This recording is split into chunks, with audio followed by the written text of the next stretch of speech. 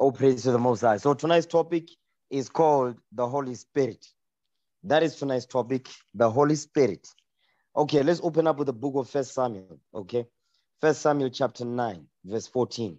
Let's start there. First Samuel chapter 9, verse 14. The first book of Samuel, chapter 9, verse 14. Come on. And they went up into the city. And when they were coming to the city, behold, Samuel came out against them for to go up to the high place. Read that again, verse 14. First book of Samuel, chapter 9, verse 14. Come on. And they went up into the city. And when they were coming to the city, behold, Samuel came out against them for to go up to the high place. So now what's going on here is that Saul's father's asses were got lost. So now the Lord, uh, Saul's father told Saul and his servants to go and look for the lost asses. Okay, jump up to verse one so we get it. First book of Samuel, chapter 9, verse 1. Go ahead. Now there was a man of Benjamin whose name was Kish, the Read. son of Abiel, Come on. the son of Abiel, the son of Zeror, the son of Bechorath, the son of Apia, Aphiah, a Benjamite, a mighty man of power. So now, now keep going. So now he's gonna give us the lineage of where the, the lineage of Saul. Okay, come on. And he had a son whose name was Saul, a choice young man and goodly, and a goodly. Read. And there was not among the children of Israel a goodlier person than he. From his shoulders and upward, he was higher, and from his shoulders and upward, he was higher than any of the people. Go ahead. No, now they're describing Saul, his stature, what he looked like. He was tall. Go ahead. And the ashes of Kish, Saul's father, were lost. And Kish said to his Saul, and Kish said to Saul his son, Take now one of the servants with thee, and arise, go seek the asses. So now Saul's father said, Listen, go and look for the asses that got lost. Jump down to verse 14 now. Come on. First book of Samuel, chapter 9, verse 14. Read. And they up into the city. And Mhm. when they were coming to the city, behold, Samuel came out against them for to go up to the high place. So now, as they came into the city, guess what? They met the prophet Samuel. Okay. And Samuel stopped them from doing that, from going out to where they wanted to go, because they wanted to look for a seer to help them to find the lost asses of Saul's father. Go ahead. Verse 15. Read. Now the Lord had told Samuel in his ear a day before Saul came, saying, Mhm. Tomorrow about this time I will send thee a man out of the land of Benjamin, Go ahead. and thou, and thou shalt anoint him to be captain over my people Israel, Read. That he may save my people out of the hand of the Philistines. For I have looked upon my people because their cry has come unto me. So because the Philistines were what? The Philistines were giving us hell. Do you understand? So go ahead. So Samuel now, the Lord has, is put into the spirit of Samuel that listen, you're gonna meet a man of the tribe of Benjamin. And upon him, the spirit of the Lord will be upon him to deliver Israel from the hands of the Philistines. Go ahead. And when Samuel saw Saul, the Lord said unto him, Behold, Mhm. the man whom I spake of, first book of Samuel, chapter 9, verse 17. And Go when ahead. Samuel saw Saul, the Lord said unto him, Behold, the man whom I spake to thee of, the same shall reign over my people. You see that thing? He says, This man right here, he says, when Saul saw Sam, when Samuel saw Saul, the Lord said unto him, Behold, the man whom I spake to thee of, this same shall reign over my people, meaning the Israelites. Go ahead. Verse 18. Read.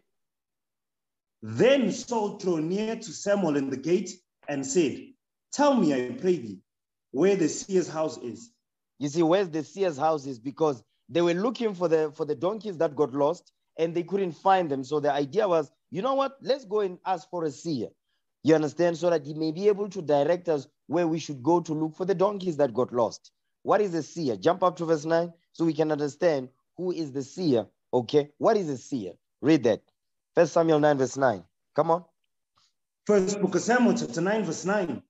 Read. Before in Israel, when a man went to inquire of God, thus he spake, Come and let us go to the seer. For he that that, is now called the prophet. Okay, read the verse again, verse 9. First book of Samuel, chapter 9, verse 9. Before, Mhm. before time in Israel, when a man went to inquire of God, thus he spake, Come and let us go to the seer.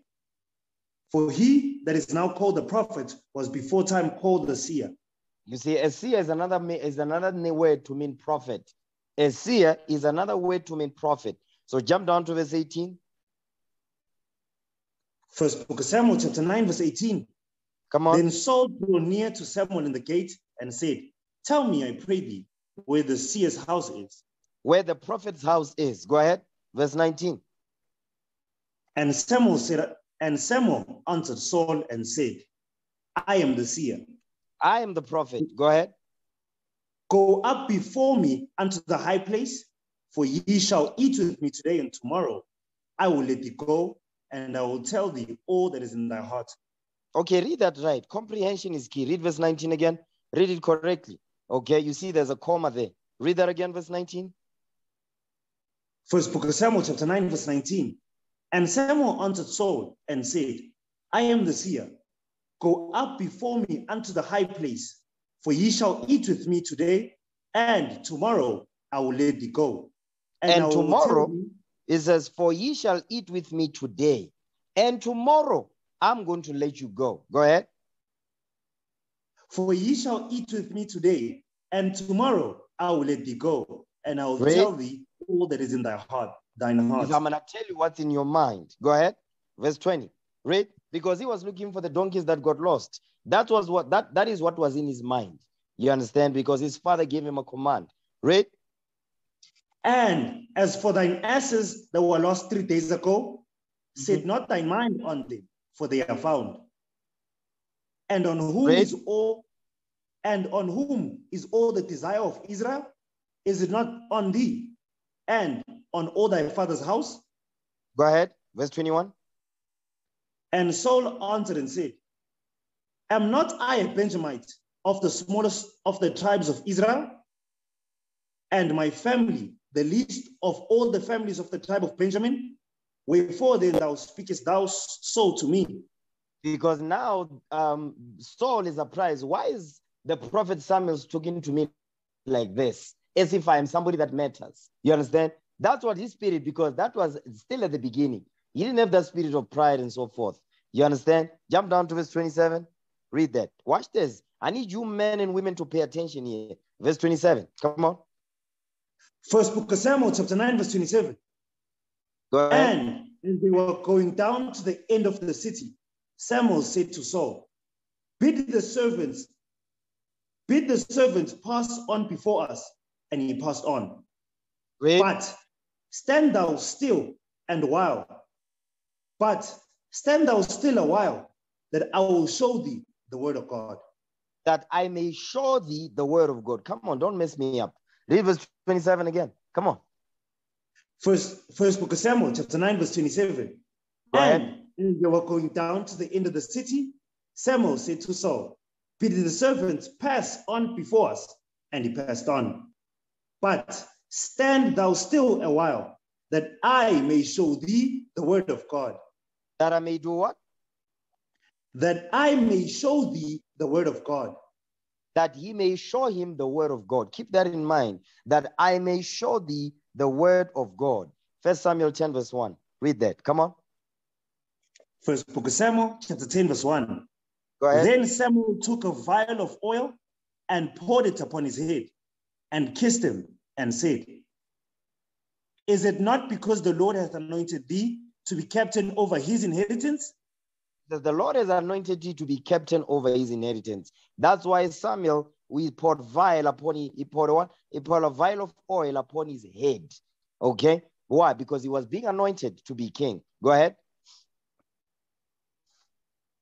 When thou art depart, when thou art departed from me today, then thou shalt find two men by Rachel's sepulchre in the border of Benjamin at Zelzah.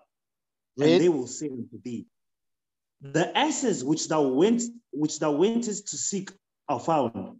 Because And lo- remember, hold on. Remember what we read in chapter 9, verse 20. Read verse 20, chapter 9, verse 20. So we understand what Samuel is saying right here. Read it. First book of Samuel, chapter 9, verse 20.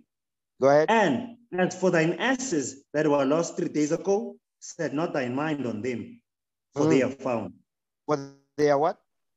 For they are found. Meaning the asses, the donkeys that you're looking for, they are found. So don't worry about them. So go back to First Samuel 10, verse 2 again. First book of Samuel, chapter 10, verse 2. Go ahead. When thou art departed from me today, then thou shalt find two men by Rachel's sepulchre in the border of Benjamin at Zelzah, and Read. they will say unto thee, The asses which thou wentest to seek of, to seek are found. Mhm. And lo, thy father hath left the care of his asses and sorroweth for you, saying, What shall I do for my son? Go ahead. Then shalt thou go onward from thence, and thou shalt come to the plain of Tabor. And they shall, and they shall meet the three men going up to Be- Bethiel, one carrying three kids, and another carrying three loaves of bread, and another carrying a bottle of wine. So now Samuel is prophesying to Saul of what's going to take place in the near future. Do you understand? This has not taken place yet. It will take place though, because Samuel is prophesying. Go ahead. Verse 4. Read. Verse 4 And they will salute thee and give thee two loaves of bread, which thou shalt receive of thine of their hands. Mhm. After that, thou shalt come to the hill of God, where is the garrison of the Philistines. And it shall come to pass, when thou art come thither to the city, that thou shalt meet a company of prophets coming down from the high place with a psaltery and a tablet. Psaltery, psaltery, psaltery. Psaltery is a is a musical instrument. Go ahead. with a psaltery and a tabret and a pipe and a harp before them, and they shall prophesy. So now I want you to read verse 5 again. You see, verse 5 is heavy. Samuel is prophesying to Saul what's going to take place. Do you understand? This has not happened yet. Read verse 5 again. Come on. First book of Samuel, chapter 10, verse 5. Read. After that, thou shalt come to the hill of God, Mhm. where is the garrison of the Philistines. Meaning a- And an army. A garrison is an army, an army of the Philistines. Go ahead. And it shall come to pass, when thou art come thither to the city, that thou shalt meet a company of prophets coming down from the high place with a psaltery, and a tabret, and a pipe, and a harp before them, and they shall prophesy. So now they are, he's telling him, listen, when you come unto the place, he says, thou shalt meet a company of prophets coming down from the high place with with a psaltery. So company, this company of prophets, they had what? They had musical instruments that they would be playing. You understand? Why would a company of prophets be having musical instruments with them? Why is that? Give me that in uh, First Chronicles, okay? 25 verse 1. First Chronicles 25 verse 1. Watch this. Okay, come on. First book of Chronicles, chapter 25, verse 1. Read. Moreover, David and the captains of the host separ- separated to the service of the sons of Asaph and Asaph. of Heman, Of the sons of Asaph. Go ahead. separated to the service of the sons of Asaph and of Heman and of Jeduth, Jeduthun, Read. who would prophesy with harps and with psalteries and with cymbals, and the number of the workmen according to their service was. So now Asaph, he was what? He was the chief of the of the musicians. You understand? So it says of Heman and of Jeduthun, who should prophesy with harps, with psalteries, and with cymbals, and the number of the workmen according to their service was. Because their service was was, was to deal with music, to prophesy through music. You understand? So that's what that's what Samuel is telling Saul what is going to take place. You understand? That company of prophets, they are going to be prophesying with musical instruments unto you. And once they do, something else going to happen. Go back to First Samuel 10. Read verse 5 again. You know what? Before you get that, get Colossians 3, verse 16. Okay, Colossians 3 16.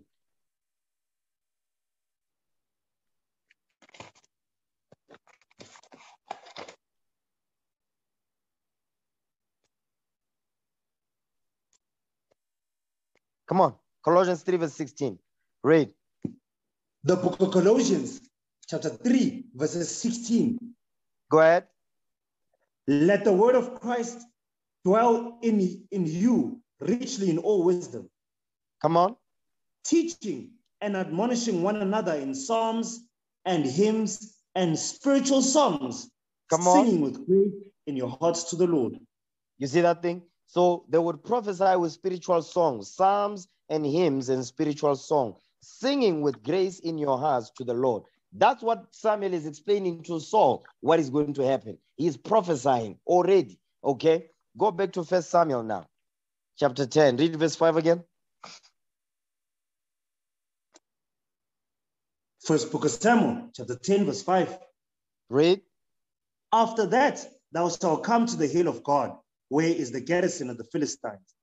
Come on. And shall come to pass, when thou art come thither to the city, that thou shalt meet a company of prophets coming down from the high place with a psaltery, with a psaltery, and a tabret, and a pipe, and a harp before them, and they shall prophesy. You see that thing? They are going to prophesy with these musical instruments before Saul. Go ahead. And the Spirit of the Lord will come upon thee, Mhm. And thou shalt prophesy with them, and Read. shalt be turned into another man. Now that's some heavy stuff right there. Read that again, verse 6. Beautiful stuff right there. Watch, pay attention. Come on. The book, first book of Samuel, chapter 10, verse 6. Mhm. And the Spirit of the Lord will come upon thee, and, And the what? thou, and the Spirit of the Lord will come upon thee, The Spirit of the Lord will come upon thee, Saul. The Spirit of the Lord will come upon you, Saul. Remember what Samuel said to Saul. Get First Samuel chapter 9, verse 27, because I know some of you forgot already. Read verse 27, chapter 9. Read that. first book of Samuel, chapter 9, verse 27. Go ahead. And as they were going down to the end of the city, Samuel said to Saul, Bid the servants pass on before us. And he passed on. But stand thou still a while, that I may show thee the word of God, That I may do what? that I may show thee the word of God. that I may show thee the word of God. So the, Sa- Samuel is prophesying to Saul, listen, I'm going to show you the word of God. Guess what? In chapter 10, when he's prophesying to Saul, what's going to take place?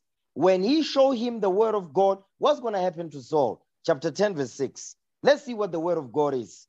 Read First Samuel 10, verse 6. Come on. First book of Samuel, chapter 10, verse 6. Read. And the Spirit of the Lord will come upon thee, You stop and right there. and the spirit of the lord will come upon thee the spirit of the lord the spirit of the lord the spirit of the lord is the word of god in chapter 9 verse 27 that's the spirit of the lord the spirit of the lord is the word of god okay read verse 6 again First book of First book of Samuel, chapter 10, verse 6. And the Spirit of the Lord will come upon thee, Mhm. and thou shalt prophesy with them, read and shalt be turned into another man. now you are going to be changed. You the spirit of the lord will come upon thee and the lord will spend a, will send a new spirit in you. That's what they are, they are, they are that's what the prophet samuel is telling saul was going to happen to him. You understand? Once the spirit of the lord come upon you you are going to prophesy. You are going to teach okay? And as you are teaching you will be turned into another man because the spirit of the lord will be activated in you you understand that's what the Lord is telling Saul here through Samuel. Okay, read again, verse 6. First book of Samuel, chapter 10, verse 6. Go ahead. And the Spirit of the Lord will come upon thee, Mm. and thou shalt prophesy with them, and shall Read. be turned into another man. They shall be turned into another man. Give me Ezekiel 36, verse 26. Read that.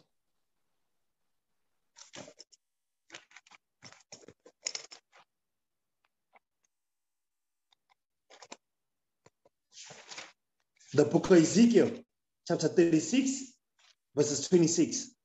Go ahead. A new heart also will I give you, and a new spirit will I put within you. That's what the Lord is telling. That's what the Lord is telling uh, Saul Samuel.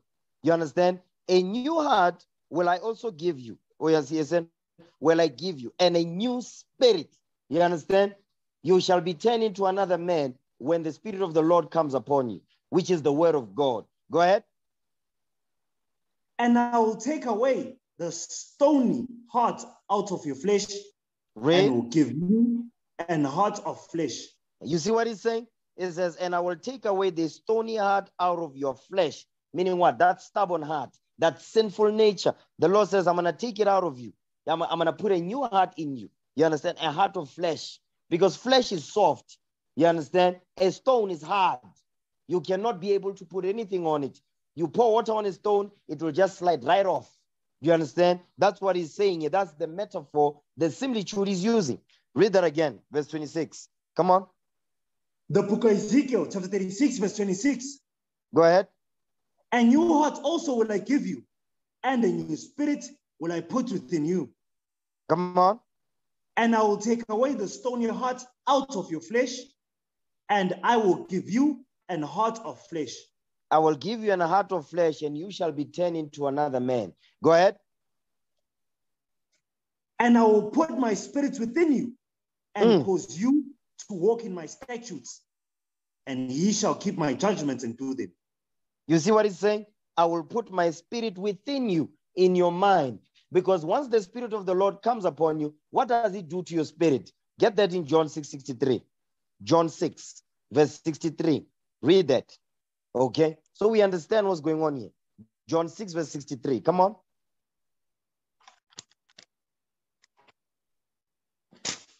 The book of John, chapter 6, verses 63. Read. It is the spirit that quickeneth. Stop right there. It is the spirit that what? It is the spirit that quickeneth. It is the spirit that quickeneth. The word quickeneth means change. The word to quicken means to change. It is the spirit of the Lord that's going to change you. Once the change comes, you will be turned into another man. That's what Samuel is telling Saul in the spirit of Christ. Read again. The book of John, chapter 6, verse 63. Go ahead. It is the spirit that quickeneth. Mhm. The flesh profiteth nothing. Read. The words that I speak unto you, they are spirit and they are Mhm. life. The words that I speak unto you, they are spirit and they are life. Guess what? Remember what Samuel said to Saul. He says, I'm going to show you the word of God. What is the word of God? The spirit that quickeneth you, the spirit that changes you. Okay, give me Ephesians 2, verse 1. Come on.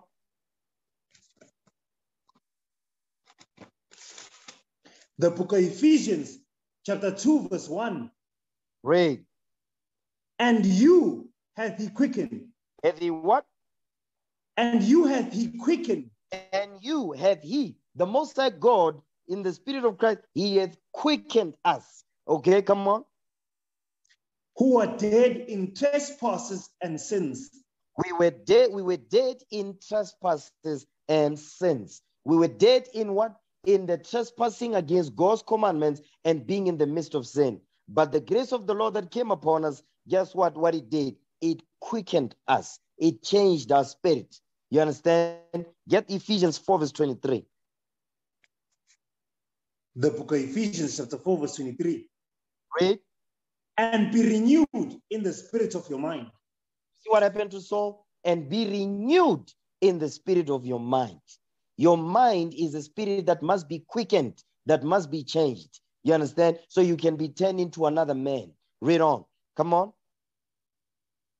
and that ye and that ye may put on the new man Mm. which after god is created in righteousness and true holiness So now, when you are renewed in the spirit of your mind, guess what? You're going to put on the new man with a new spirit and a new heart of flesh. Okay? It says, which, which after God is created in righteousness and true holiness. Because before the spirit of the Lord jumps on you, your mind is not after the Most High God. Your mind is not created in righteousness nor in true holiness. Your mind is created in unrighteousness and what? And true wickedness. You understand? The Spirit of the Lord is not dealing with you at that point because the Spirit of the Lord is the Word of God which changes you, changes your thinking, the way you think. Romans 12, verse 2. Read that.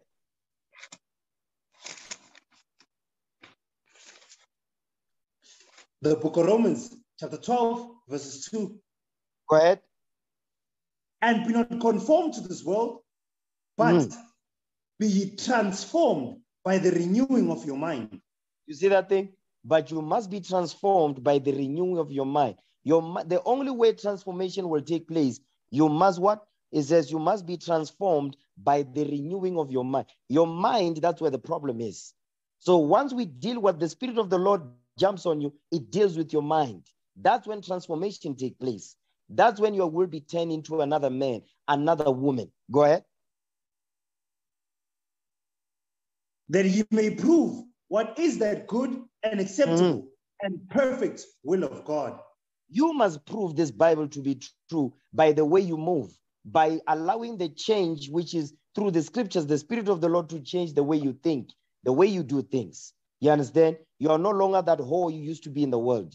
You are no longer that whoremonger that you used to be in the world. You're no longer that thief, that liar, you understand, that used to be in the world. You're no longer that brother that bears hatred to your neighbor. You're no longer that brother. You're, the Spirit of the Lord is quickening you, is changing you. That's the transformation he's talking about. That's how you're going to prove what is that good and acceptable and perfect will of the Most High God. Give me Ezekiel chapter 18, okay? Ezekiel chapter 18 and verse 30. Watch this. Come on.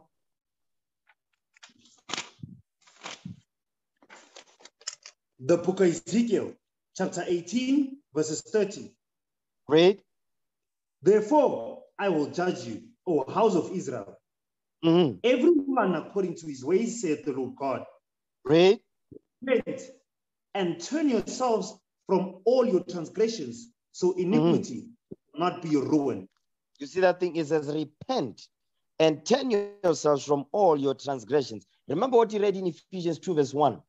It says, and you have he quickened who were in what? In trespasses and sins. The Lord will quicken us when we repent. Okay? So iniquity shall not be our ruin. So we don't die in our sins. Next verse. Read on. Cast away from all your transgressions. The book of Ezekiel, chapter 18, verse 31. Cast away from you all your transgressions, whereby you have transgressed, and make you a new heart and a new Mhm. spirit. For And why what? will you die? And make a new what? Read that part again. And make you a new heart and Make you- a new spirit. make you a new heart and a new spirit.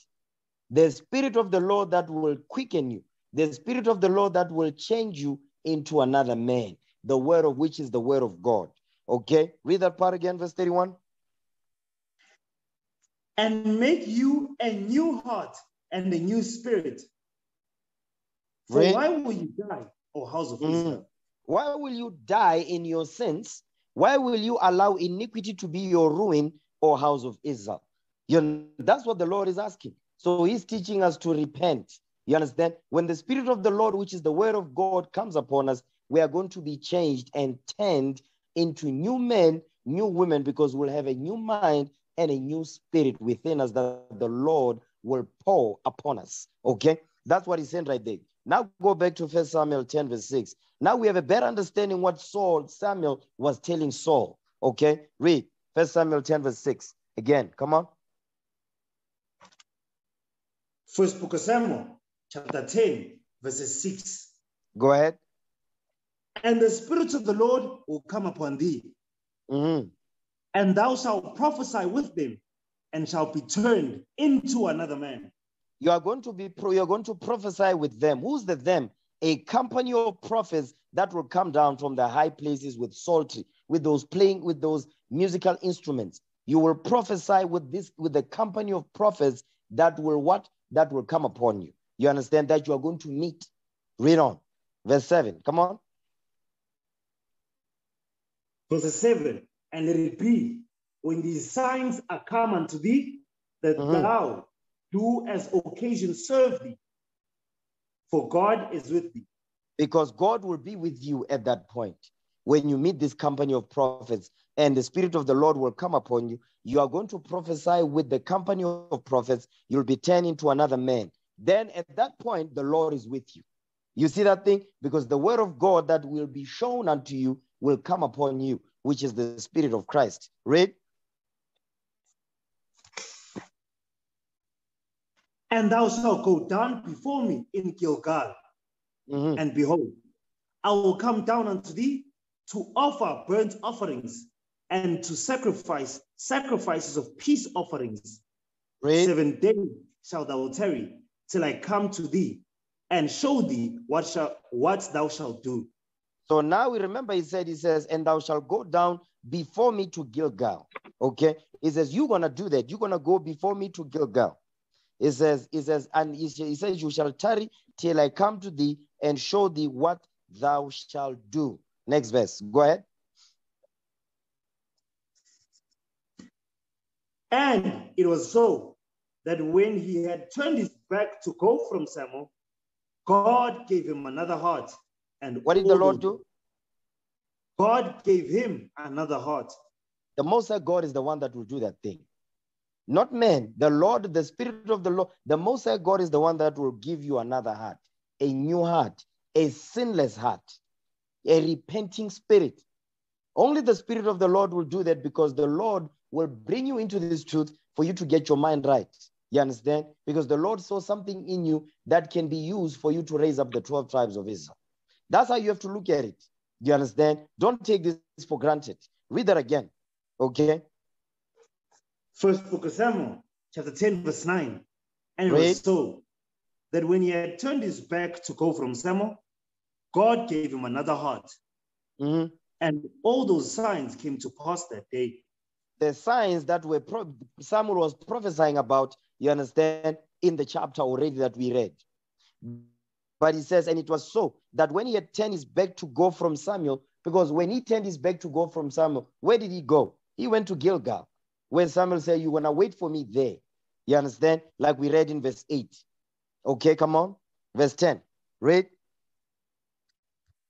First book of Samuel, chapter 10, verse 10. And when they came thither to the hill, behold, a company of prophets met him, and Mhm. the Spirit of God came upon him, and he prophesied among them. So now the prophecy is coming to pass now. The prophecy is being fulfilled. You understand? Because what we read in verse 5 is as you're going to meet a company of prophets.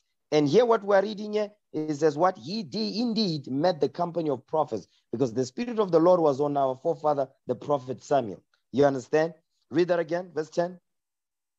First book of Samuel, chapter 10, verse 10. Read. And when they came thither to the hill, behold, a company of prophets met him, and the Spirit of God came upon him, and he prophesied among them. he prophesied among the company of prophets. You understand? Read. And it came to pass when all that he, when all that knew him before time saw that, behold, he prophesied among the prophets. Then the people said one to another, What is Mm. this that has happened to the son of Kish? No. What is this? It says, What is this that is come unto the son of Kish? Pay attention. Come on. What is this that is come unto the son of Kish? Is Saul also among the prophets? You see what they are asking? It says, when all that knew him before time saw that, meaning what? Just like you when you come into this truth, right?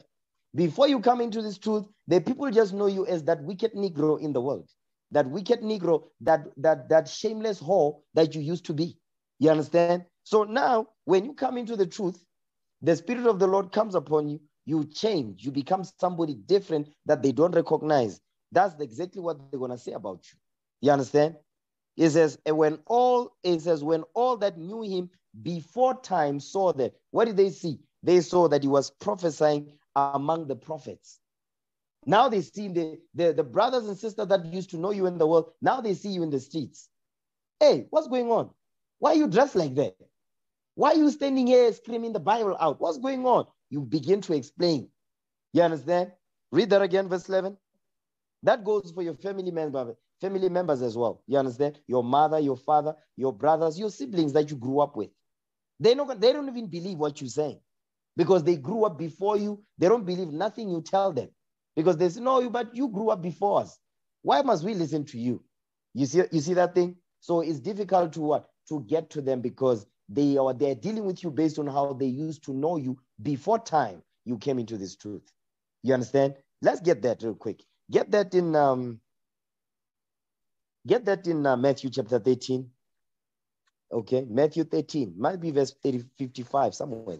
Let me see. Yes, read that. Matthew chapter 13, read verse 57. Okay. The book of Matthew, chapter 13, verse 57. Go ahead. And they were offended in him. But Jesus said unto them, A prophet is not without honor, save in his own country and in his own house. You see what he's saying? He says his brothers and sisters were offended at him. Why? Because he said, because he was teaching them the scriptures. They didn't believe anything he was saying. That's why he's saying a prophet is not without honor. He's saying the prophet is with honor, except in his own house, except in his own country and in his own house.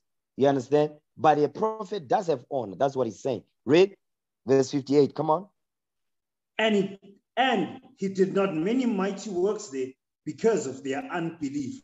Because they did not believe. So he did not, he was unable to perform mighty works among the brothers and sisters that he grew up with. Because they used to know him before time as what? They didn't know him as the mighty prophet of Israel. You understand? Just like they look at you today. They don't believe anything you're saying. You, the prophet? Come on, bro. Stop it. I went to school with you. What are you talking about? You understand? Get that in John 7, verse 1.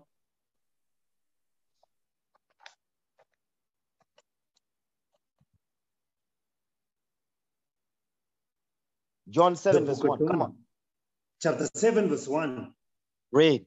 After these things, Jesus walked in Galilee, for he walked not, for he would not walk in Jewry, because the Jews sought to kill him. Because they hated Christ and what he was teaching, what he stood for. Go ahead. Now the Jews, now the Jews' feast of tabernacles was at hand. So it was during the feast of tabernacles. Go ahead. His brethren therefore said unto him, Depart hence and go into Judea, that thy disciples also may see the works that thou doest. So his brethren is the same brothers and sisters that he grew up with. You understand? Get go back to Matthew 13, verse 55 now. Matthew 13, verse 55. He says, His brethren. Who are his brethren? Let's read about them here. Okay. These are the biological brethren that he had.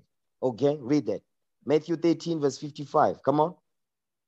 The book of Matthew, chapter 13, verse 55. Is not this the carpenter's son? Mm. Is not this, is not his mother called Mary and his brethren, James and Joseph and Simon and Judas?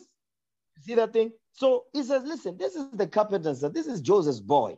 Okay. We know him. And we also know his family too. We know his brothers. We know James. We know Joseph. We know Simon. We know Judas. Go ahead. And his sisters, are they not all with us? Mm-hmm. Whence then had this man all these things? How does he know all these things? You know, he says we also know his sisters too. So go back to John 7. Okay, John chapter 7. Read verse 3 again. The book of John, chapter 7, verse 3. His Read. brethren, they said unto him, Come on. Depart him and go into Judea, that thy disciples also may see the works that thou doest. His brethren is talking about the same brethren that we read in Matthew 13. Next verse. Come on. For there is for there is no man that doeth anything in secret, mm-hmm. and he himself seeketh to be known openly. If thou do these things, show thyself to the world. He says, Show yourself to the world. Go ahead, watch this. Next verse. Read. For neither did his brethren believe in him. That thing? The same brethren in verse 3 the same brethren in Matthew 13. They didn't believe him. That's the same thing now that we are reading in First Samuel 10 regarding Saul. You understand? Watch this. Give me that in Wisdom of Solomon chapter 5. Okay. Wisdom of Solomon chapter 5. We're going to start at verse 1. Read that. Wisdom of Solomon, chapter 5, verse 1. We're still dealing with what, what they are saying about Saul. You understand? When he says, listen, he's also prophesying among the prophets. You understand? What is this that is come unto the son of Kish? Is Saul also among the prophets? Hmm? This, this brother, you understand? This sister, or oh, you wearing dresses now? Hmm. You don't celebrate Christmas no more. Boo hoo. That's how they look at you. You understand? But Christmas is of the devil. Okay? Yeah, it's not in the Bible. It's of the devil. The people that celebrate Christmas, they worship Satan. Okay? Read that thing. Wisdom of Solomon 5 and 1. Come on. Wisdom of Solomon, chapter 5, verse 1. Great. Then shall the righteous man stand in great boldness before the face of such as, as have afflicted him. Great. And made no account of his labors. Meaning what? They don't take you seriously. You understand? Then it says, then says, they says the righteous man will stand in great boldness. You understand? But the people that know you, they're not going to make account of your labors because you grew up before them. You understand? That's why when we go out, the people, when they say, Whoa, whoa, praise to the Most High, he says, Blessed is he that cometh in the, in the name of the Lord. But among our brothers and sisters that we grew up with, they don't say nothing like that. You understand? Go ahead. When they see it, they shall be troubled with tremble, with tremble fear. With terrible fear. Okay. It says, when they see it, when they see you being numbered among the prophets, you understand? It says they are going to be troubled with terrible fear. Go ahead. And they shall be troubled with terrible fear. Great. And shall be amazed at the strangeness of his salvation. Come on. So far beyond all they that look for. He says, so far beyond all they that look for. You understand? Now, what is he saying? He says they are going to be what? They are going to be amazed as the strangeness of his salvation. Because we look strange. We wear fringes. Sisters be wearing long dresses with fringes on. You don't celebrate Christmas. You don't celebrate New Year. You understand? You talk about the Passover. You talk about the Feast of Dedication, the destruction of Night That's what you're talking about. You talk about keeping the Sabbath day. You don't eat pork, shrimp, lobster, crab, none of that. You strange to them. You understand? You look strange. Okay, read. And they repenting and groaning for anguish of spirit. Wisdom of Solomon, chapter 5, verse 3. And they repenting and groaning for anguish of spirit, shall they say within themselves, This was he whom we had in sometimes in derision, and a proverb of reproach. And a what? And a proverb of reproach. A proverb of reproach, meaning they will speak evil of you. You understand? Or you think you are a prophet now. Now all of a sudden you're gonna bring us, you're gonna tell us what to do. You're gonna hear about this Bible. You're always in that Bible, Negro. You know, he's, this guy. He cannot have any normal conversation. Whenever you talk about, we talk to him, he always go to the scriptures. He tell you no, but actually, you know what's happening in the world is written in the script. They don't want to hear none of that. That's why it says you will be a proverb of reproach unto them. Okay, go ahead. We fools accounted his life madness mm-hmm. and his end to be without honor. Because that's how they look at it. They think your end will be without honor, but they don't understand. This is the spirit, okay? The spirit of the Lord, when it jumps on you and you prophesy, you'll be turned into another man. They're not going to recognize you. Go ahead. How is he numbered among the children of God? Mm. And his lot among the saints? Is he also among the prophets? Is the son of Kish also numbered among the prophets? Because that's what's going on here. That's what we just read in First Samuel 10. Go ahead. Therefore, have we erred from the way of truth mm. and the light?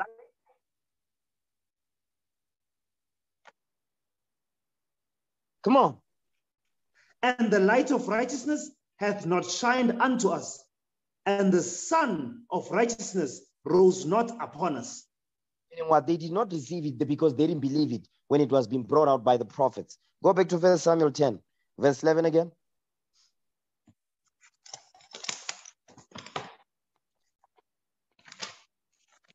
First book of Samuel, chapter 10, verses 11. Read. And it came to pass, when all that knew him before time saw that, behold, he prophesied among the prophets. Then the people said one to another, What is this that is come unto the son of Kish? Is Saul also among the prophets? Is Saul also among the saints? Is he also numbered among the saints? Go ahead. And one and one of the same place answered and said, But who is their father? Therefore, it became a proverb. Is Saul also among the prophets? That's the proverb. You said, therefore, it became a proverb. It became a proverb of reproach. Is Saul also among the prophets? Because they don't believe. That's what we read in Wisdom of Solomon, chapter 5. You understand? In verse 5, verse 3, when it says, and a proverb of reproach. What does the proverb of reproach? Read verse 12 again. First book of Samuel, chapter 10, verse 12. And one of the same place answered and said, But who is their father? Therefore, it became a proverb. Is Saul also among the prophets? That's the proverb. Is Saul also among the prophets? Is he numbered among the saints? You understand? That's the proverb. That's the same thing they say about us this day. You understand? He thinks he's a prophet. You understand? That's why when we were teaching in Katlehong, that black ashy Jezebel woman, she said, we because she asked, so who are you? Hmm? Who are you? I was like, listen, sis, we the prophets of the Lord back on this earth. You understand? She's like, ah, she was just groaning. You understand? Because guess what? That behavior, everything that she was doing and saying is based on, is written. So it was not a new thing. You understand? Watch this. Jump down to verse 16 now. First Samuel 10, verse 16. Come on. First book of Samuel, chapter 10, verse 16. Go ahead. And Saul said unto his uncle, He told us plainly that the asses were found, but of the matter of the kingdom whereof Samuel spake, he told them not. See what is, see what's going on? You listen, I need you men to pay attention, especially you men. You see what's going on here? Saul, the spirit of the Lord jumped, came upon Saul. He became into another man. He started to prophesy. Do you understand? Guess what? Once the spirit of the Lord jumps on you, guess what? What's going to be in your mind is the matters regarding the kingdom. That's what's going to be in your mind. The kingdom, rulership of all nations on earth. That's what's going to be in your mind. You understand? Living forever. Okay? Conquering and ruling these nations. That's what's going to be in your mind. You understand? Read again, verse 16. So we understand what's coming out here. Okay, come on. First book of Samuel, chapter 10, verse 16. Great. And Saul said unto his uncle, He told us plainly that the asses were found. Great. But of the matter of the kingdom, whereof Samuel spake, he told him not. It's because the uncle was asking him what Samuel said unto him. So he's explaining himself, listen, he told us plainly that the asses were found. You understand? Because it was prophesied in First Samuel 9. Now here it says, but of the matter of the kingdom whereof Samuel spake, he says he told him not. He didn't say nothing. Why? Because they were not going to believe him anyway. You understand? Watch this. Get that in Second Ezra 2, verse 35. Once the Spirit of the Lord comes upon you, the mindset is about is about what? Kingdom. Is about building the 12 tribes of Israel. That's the spirit you have to have. That's the spirit you must have once the Spirit of the Lord jumps on you. You cannot be distracted by the coochie. You cannot be distracted by big booty women. You cannot be distracted by anything Instagram, YouTube, TikTok, Facebook, none of that stuff. The mindset must be upon the kingdom of heaven that shall be established upon this earth. I need you men to understand that thing. Okay, Second Ezra 2, verse 35. Read that. Second book of Ezra, chapter 2, verses 35. Go ahead. Be ready to the reward of the kingdom. Mm-hmm. For the everlasting light shall shine upon you forevermore. You see that thing? You are going to be ready for the what? For the you're going to be ready to the reward of the kingdom. You're going to get yourself ready for the reward of the kingdom when the kingdom comes. Because we are ushering in the kingdom. So once the spirit of the Lord jumps on you, the Lord calls you into this truth, that's what your mindset is supposed to be. Your mindset is not supposed to be on a rod. I'm talking to the sisters now. Your mindset cannot be, I want a new rod. What the hell is this? Your mindset must be, I need to help, I need to help support the troops. You understand? It must not be supposed, no, I need to get a new rod. Mm-mm, no. The same as you, brothers. Your mindset cannot be, I need a coochie. I cannot hold myself. Stay in the spirit, Negro. Read again. Verse 35. Come on. Second book of Ezra, chapter 2, verse 35. Read. Be ready to the reward of the kingdom. For the everlasting light shall shine upon you forevermore. You see that thing? For the everlasting light shall shine upon you forevermore. That's your mindset right there. Okay. Give me that in Luke. Okay. Give me Luke 9. Okay. This is the mindset. Luke chapter 9 and verse 22. Watch this. Hmm. You know what? Luke 17, not Luke 9. Luke 17, verse 20. Okay. Watch this. The book of Luke, chapter 17, verses 20. Read. And he was demanded of the Pharisees when and the kingdom when, of God and when, and when, and when he was demanded of the Pharisees. Come on, pay attention. the book of Luke, chapter 17, verse 20. And Wait. when he was demanded of the Pharisees when the kingdom of God should come, he answered them and said, The kingdom of God cometh not with observation. The kingdom of God will not come with observation. It's not going to fall on your lap. It- That's not going to happen. We must labor to receive the kingdom. We must make ourselves ready to receive the reward of the kingdom. That means we must labor in the Most High God's vineyard. Go ahead. Neither shall they say, Lo here, or Lo there. For behold, the kingdom of God is within you. The kingdom of God is within you. Because the Spirit of the Lord, when it comes upon you, your mindset is going to be on the kingdom of heaven that shall be established upon the earth. You're going to be taught. You're going to understand the things that you are being taught. You'll apply. You'll start to see what the mission is about. You understand? Mm. That's what Saul is explaining here. That's why he didn't, he didn't make this known to his uncle. Go back to First Samuel 10 now. First Samuel chapter 10, read verse 25 now.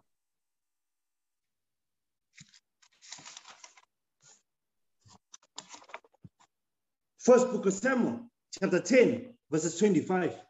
Go ahead.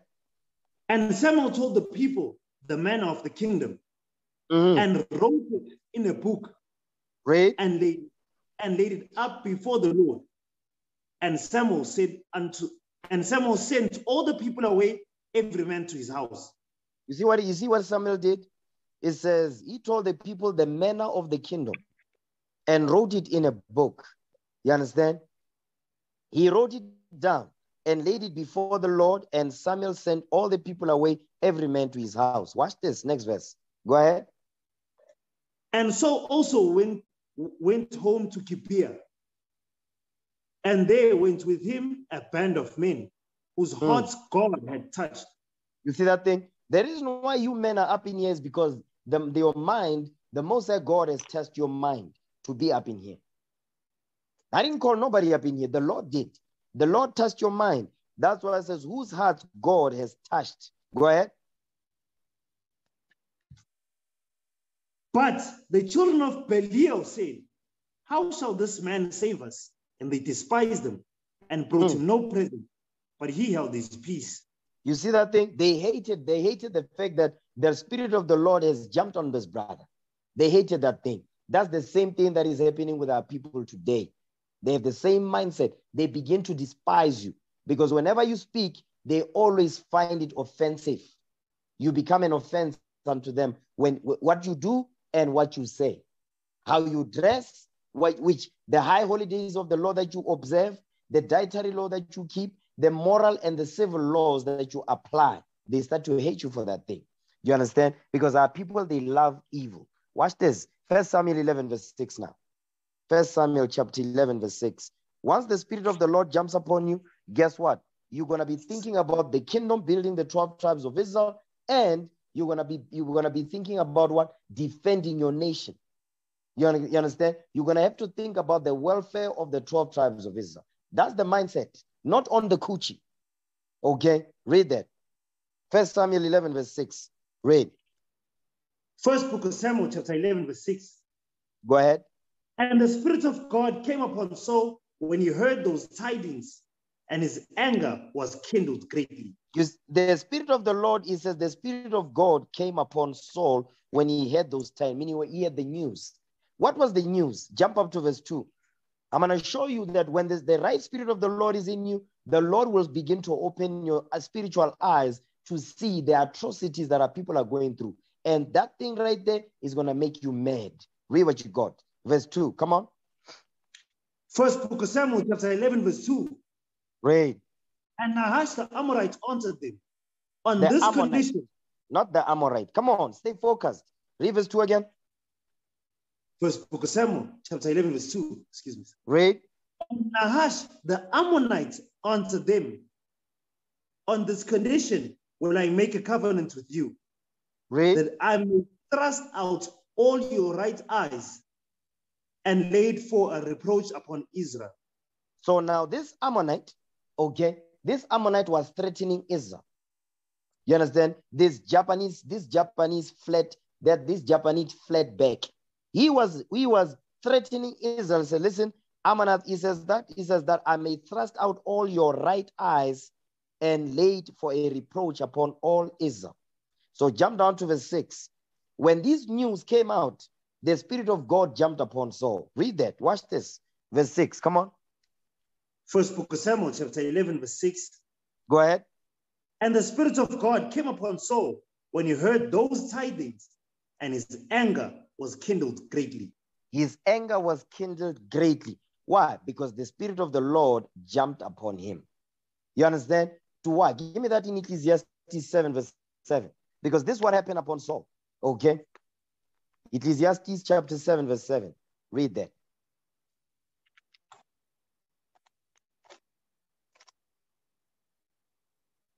The book of Ecclesiastes, chapter 7, verses 7. Read. Surely oppression maketh a wise man mad.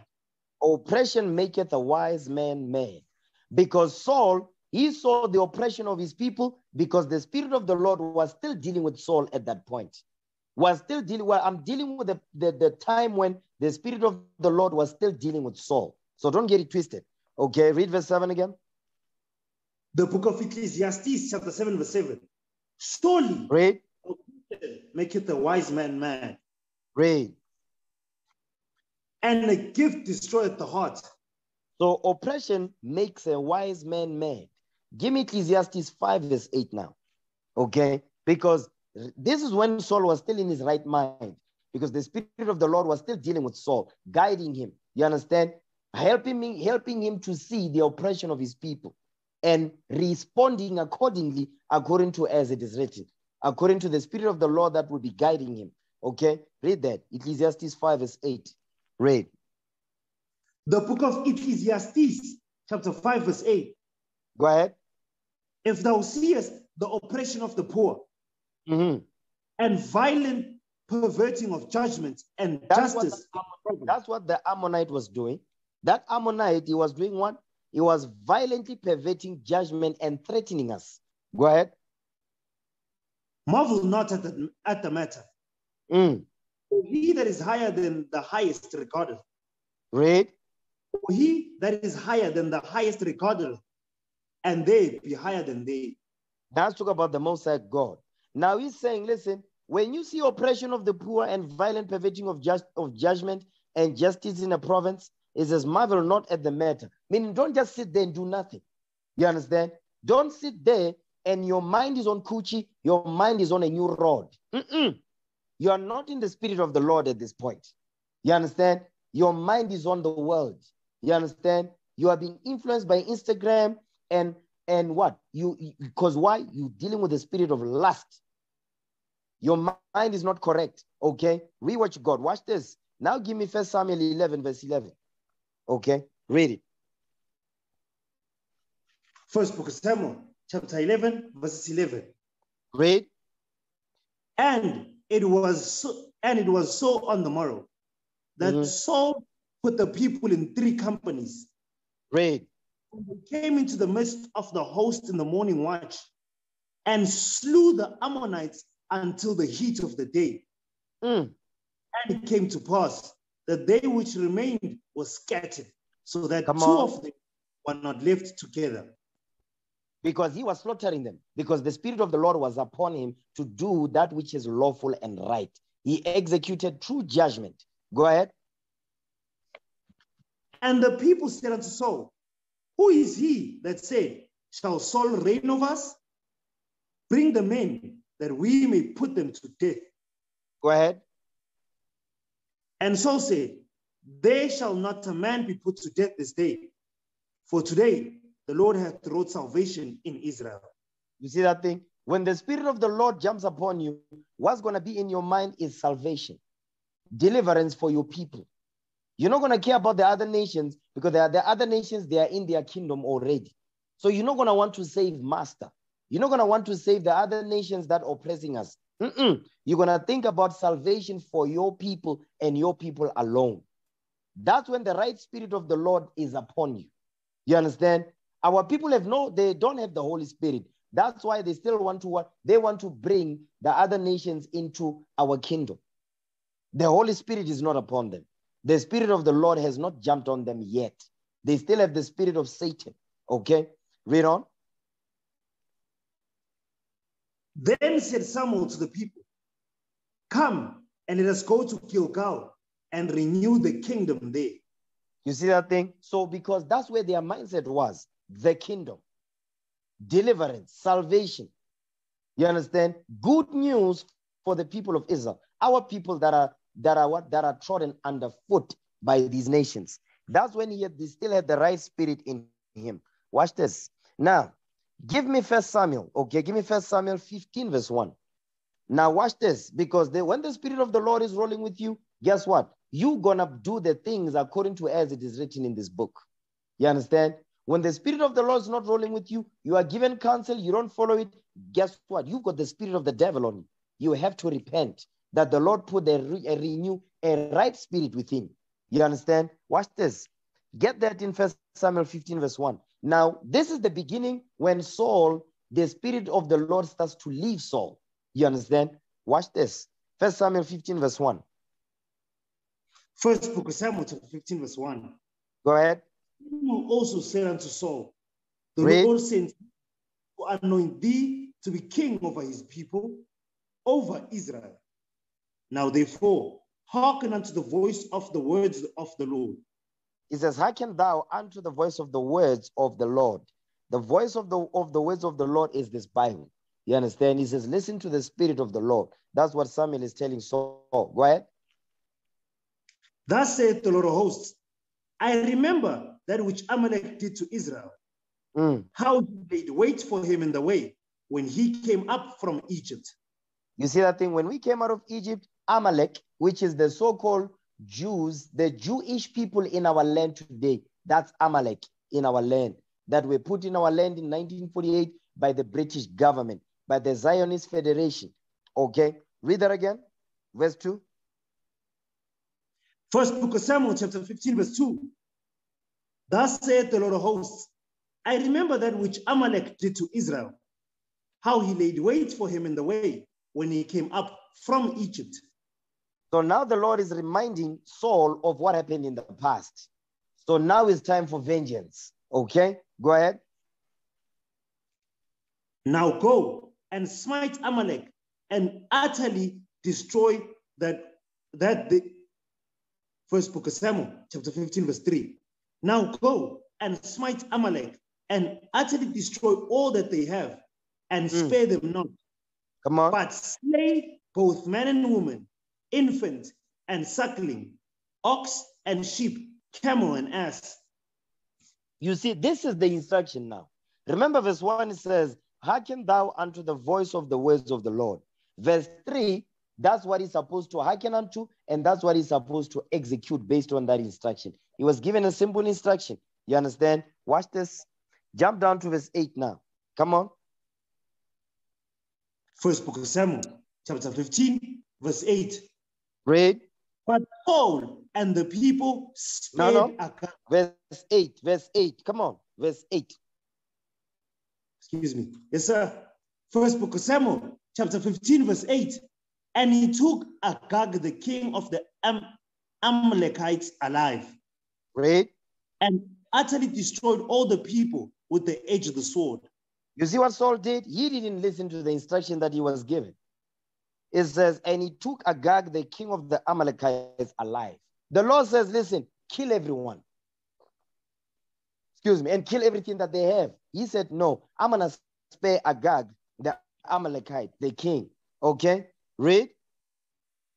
But Saul and the people spared Agag and Hmm. the best of the sheep and of the oxen and of the fatlings and of Read. the lambs and all that was good and would not utterly destroy them, but everything that was vile and refuse and refused that they destroyed utterly. You see what they did? So they had the spirit of covetousness because he spared Agag, the king of the Amalekites, one. Two, he spared the best of the oxen and the sheep and the goats and so forth. He wasn't supposed to do that because that was not the instruction. He was self willed. That was Saul's problem. He was self willed. You understand? He wanted to do his own thing. Okay, watch this. Keep reading. Verse 10. Then came the word of, of the Lord unto Samuel, saying, Read. It repented me that I have set up Saul to be king. Stop right there.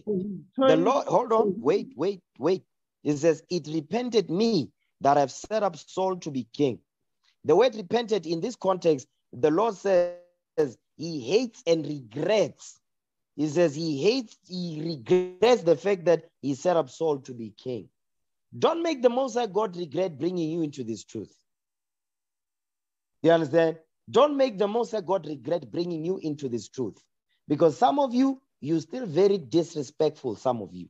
Some of you, you hate correction. Some of you, you hate instruction. Some of you, you like to do your own thing. You are given an instruction, you add spices on top of it. You, the devil. You understand? And you're not going to last in this truth if you don't repent from that demon that you are carrying around, worshiping. Each time when you're given instruction, you feed it with rebellion and witchcraft. Understand that thing. Read again, verse 11. First book of Samuel, chapter 15, verse 11. Read, It repented me that I have set up Saul to be king, read, for he is turned back from following me meaning what? He hold on. He decided to do his own thing. He says, What? He turned back from following me. He decided to follow Satan. Go ahead. and hath not performed my commandments. Mm. And it grieved Samuel, and he cried unto the Lord all night. You see that thing?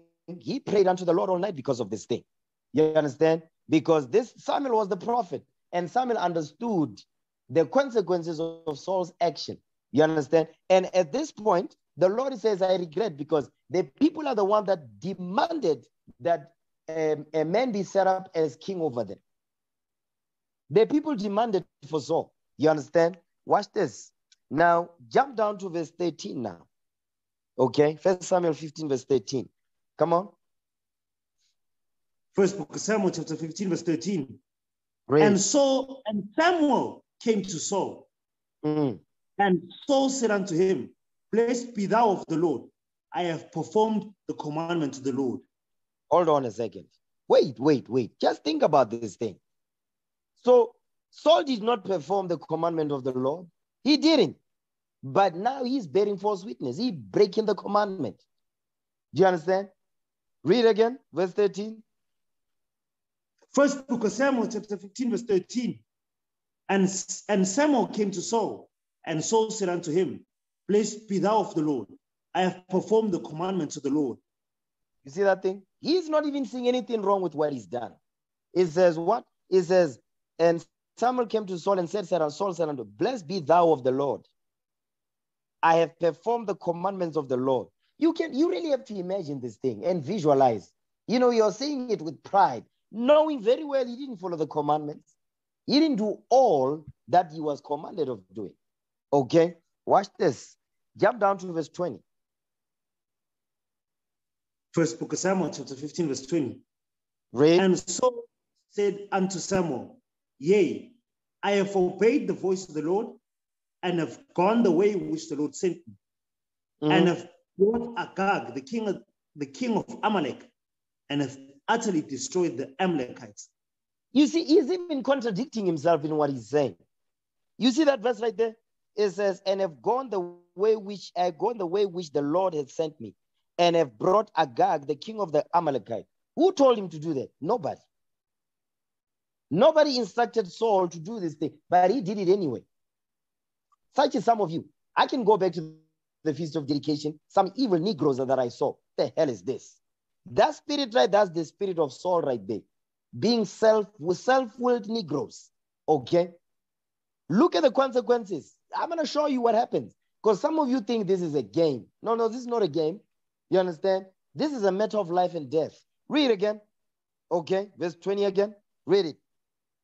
First book of Samuel, chapter 15, verse 20.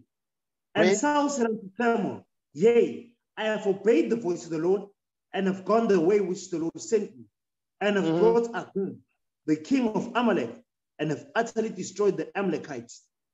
Go ahead, verse 21. Read. But the people took off the spoil, sheep Mm. and oxen, the chief of the things which should have been utterly destroyed, Read. to sacrifice, to sacrifice unto the Lord thy God in Gilgal. You see that thing right there?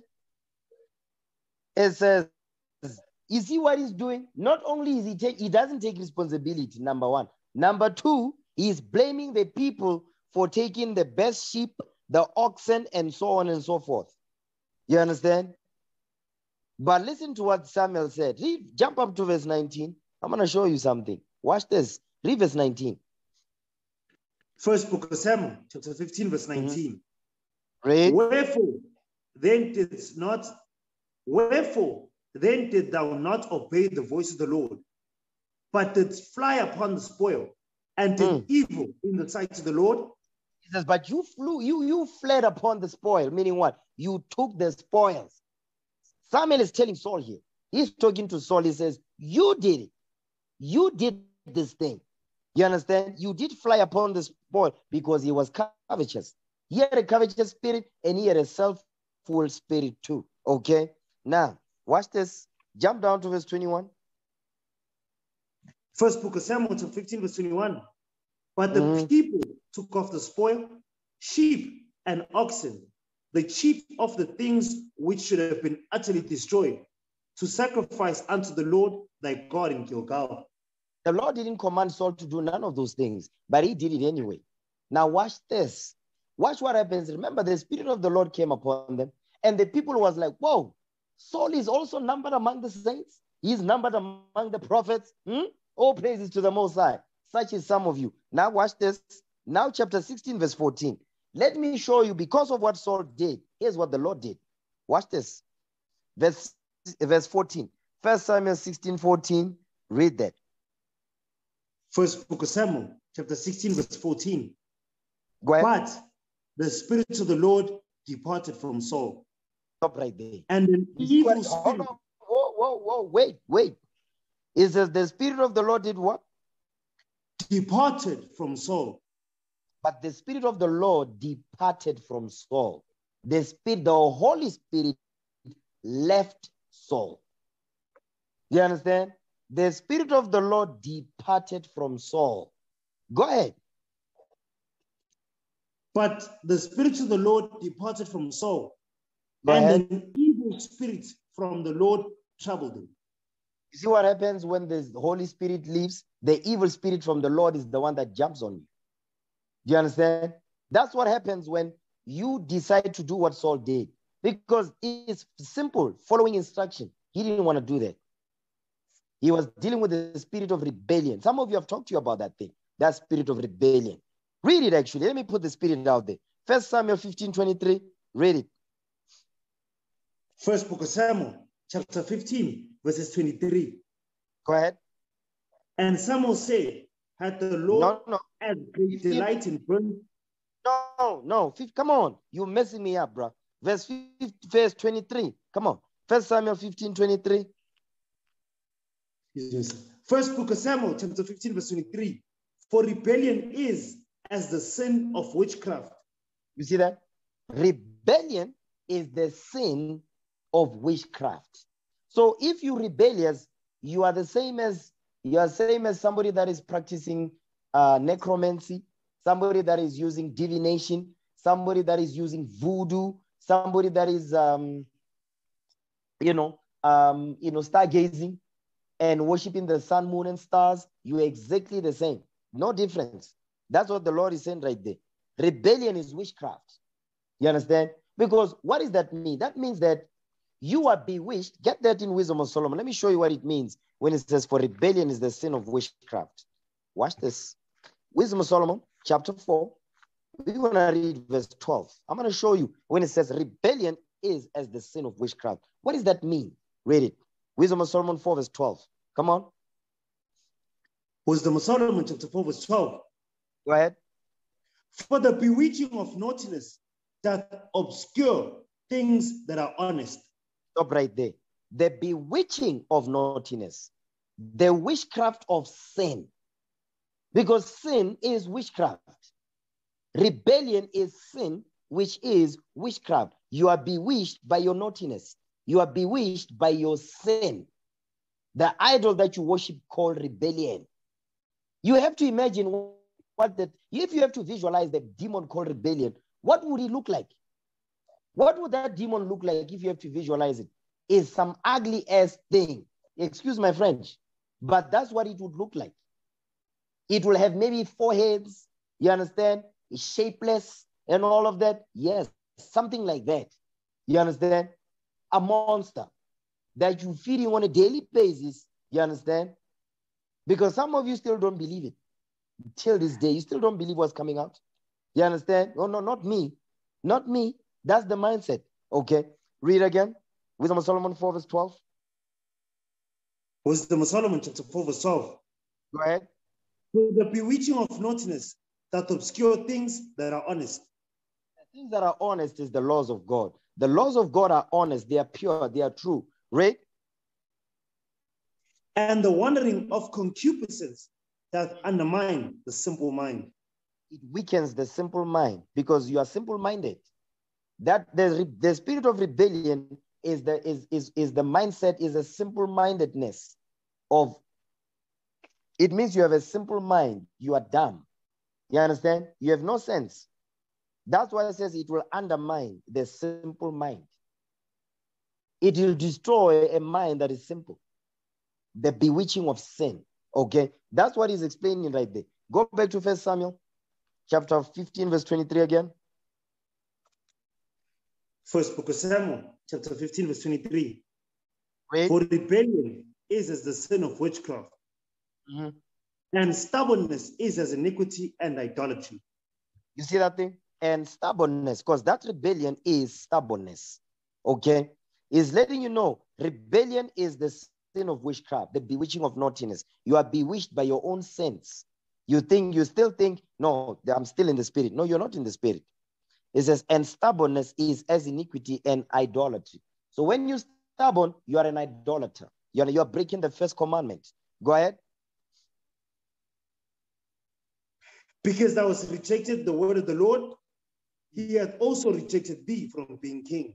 because that now goes into us. You understand? King of kings. We're going to be with the kings, he's talking about. So, guess what? Rebellion, stubbornness. Once you have those things, you, have, you are rejecting the laws of God. That's what you're doing. The minute you have those spirits, rebellion and stubbornness, you are reject, you rejected, not rejecting, you have rejected. Past tense. You have rejected the word of the Lord. He has also rejected thee from being king. The Lord will reject you too. Understand that. The High doesn't have to, to use any of us. I mean, here, he can raise up stones in our place. That's what the scripture says. But some of you Negroes, you some of you, you are still in that Negro mindset. You are not an Israelite yet. You are still in that Negro mindset. You are yet to repent. You understand? Watch this. Give me, give me wisdom of Solomon. Okay. You know what? Give me Genesis 6, verse 3. Genesis chapter 6, verse 3. Let's read that. The book of Genesis, chapter 6, verse 3. Go ahead. And the Lord said, My spirit shall not always strive with man. My what? My spirit shall not always strive with man. My spirit, my spirit. The same spirit that jumped upon Saul, the same spirit that left Saul when he, when he was rebellious. You understand? Go ahead. For that he also is flesh, He is sinful. Flesh means sinful. Go ahead. yet these days shall be 112 and 20 years. I mean, the Lord says, I'm going to shorten your lifespan now. Jump down to verse 5. The reason why the Spirit of the Lord says He's not going to dwell with you anymore is because of what? Read verse 5. Watch this. The book of Genesis, chapter 6, verse 5. Go ahead. And God saw that the wickedness of man was great in the earth, See that the wickedness of man, the wickedness of men, of men. So once the wickedness enters into you, the Spirit of the Lord will not dwell in you. The Spirit of the Lord and the wickedness of the world cannot dwell in the same space together. No, impossible. That's why it's called the Holy Spirit. It's separate. It cannot be mixed with anything, any evil, any filthiness, any wickedness. Okay? Read again, verse 5. the book of Genesis, chapter 6, verse 5. And God Go saw that the wickedness of man was great in the earth, Come on. and that every imagination of the thoughts in his heart was only evil continually.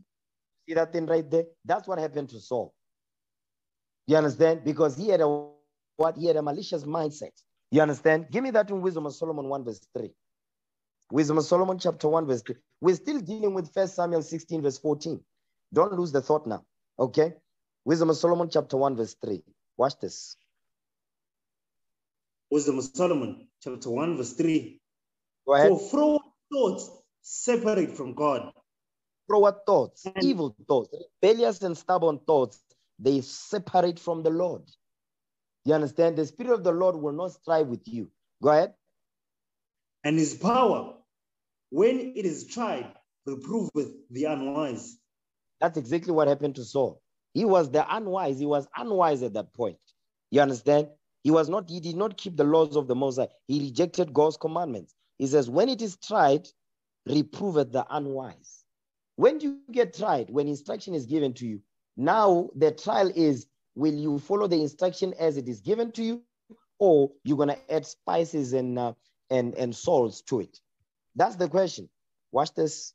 Get that in Deuteronomy, okay? Get Deuteronomy chapter 17. Get Deuteronomy 17, start at verse 9.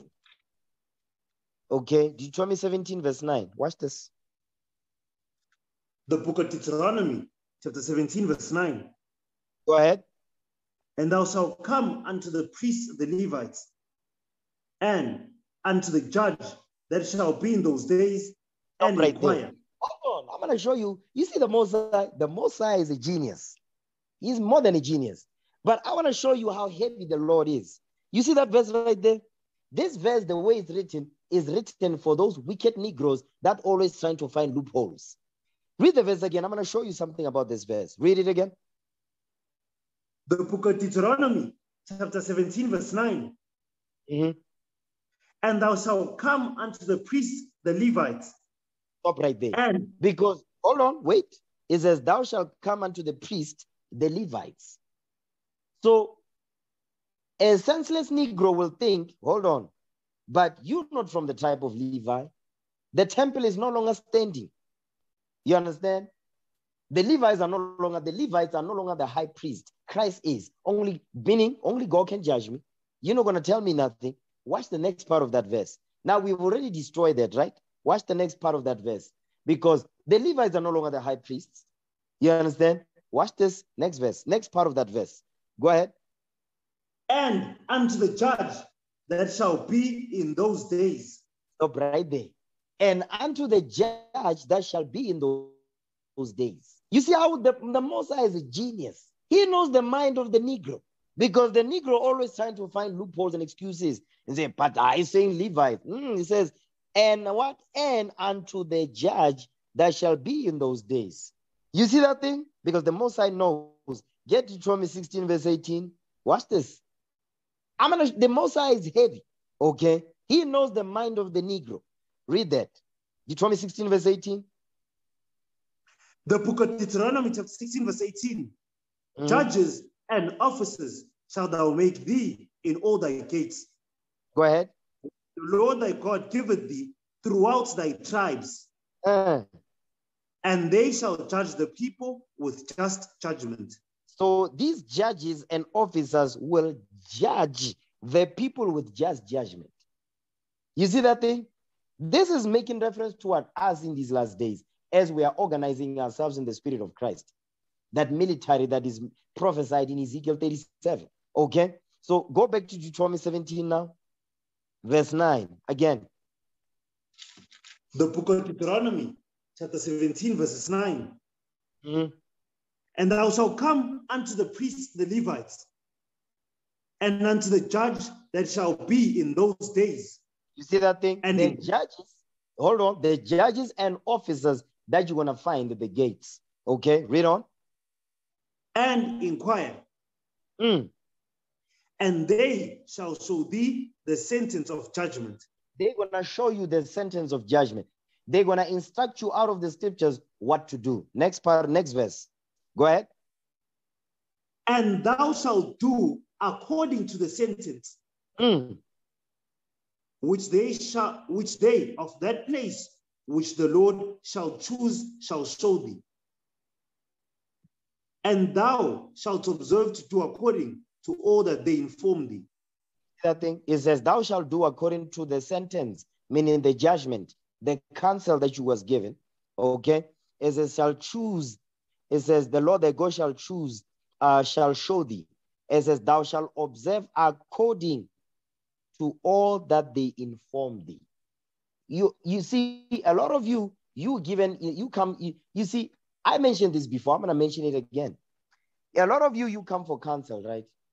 You come for counsel, no problem. You come for counsel, you are given the counsel. Then when it's time to execute the counsel, you execute 80% of the counsel and the rest you do your own thing. So when things go wrong, because they will, I agree you think you're slick. You read the scriptures, but you just ignore what they say. So things go wrong, not if or maybe, when things go wrong. You know what? You know what you're gonna do? You're gonna blame leadership for it because now you're gonna say, No, but I came to you. No, no, but yes, you came. But did you follow the counsel exactly as you were given? No, you didn't. So now it's backfiring on you because it will. It's not a matter of if or maybe, it's a matter of when it does. Because here says, Thou shalt do according to all that they inform thee. Isn't that the same thing that was given to Saul? Saul was told, Listen, slaughter everybody of the Amalekites. He spared the king and the best of the sheep and the oxen. And he still said, No, but I followed the instruction. No, you didn't. You did not. You understand? You didn't do it.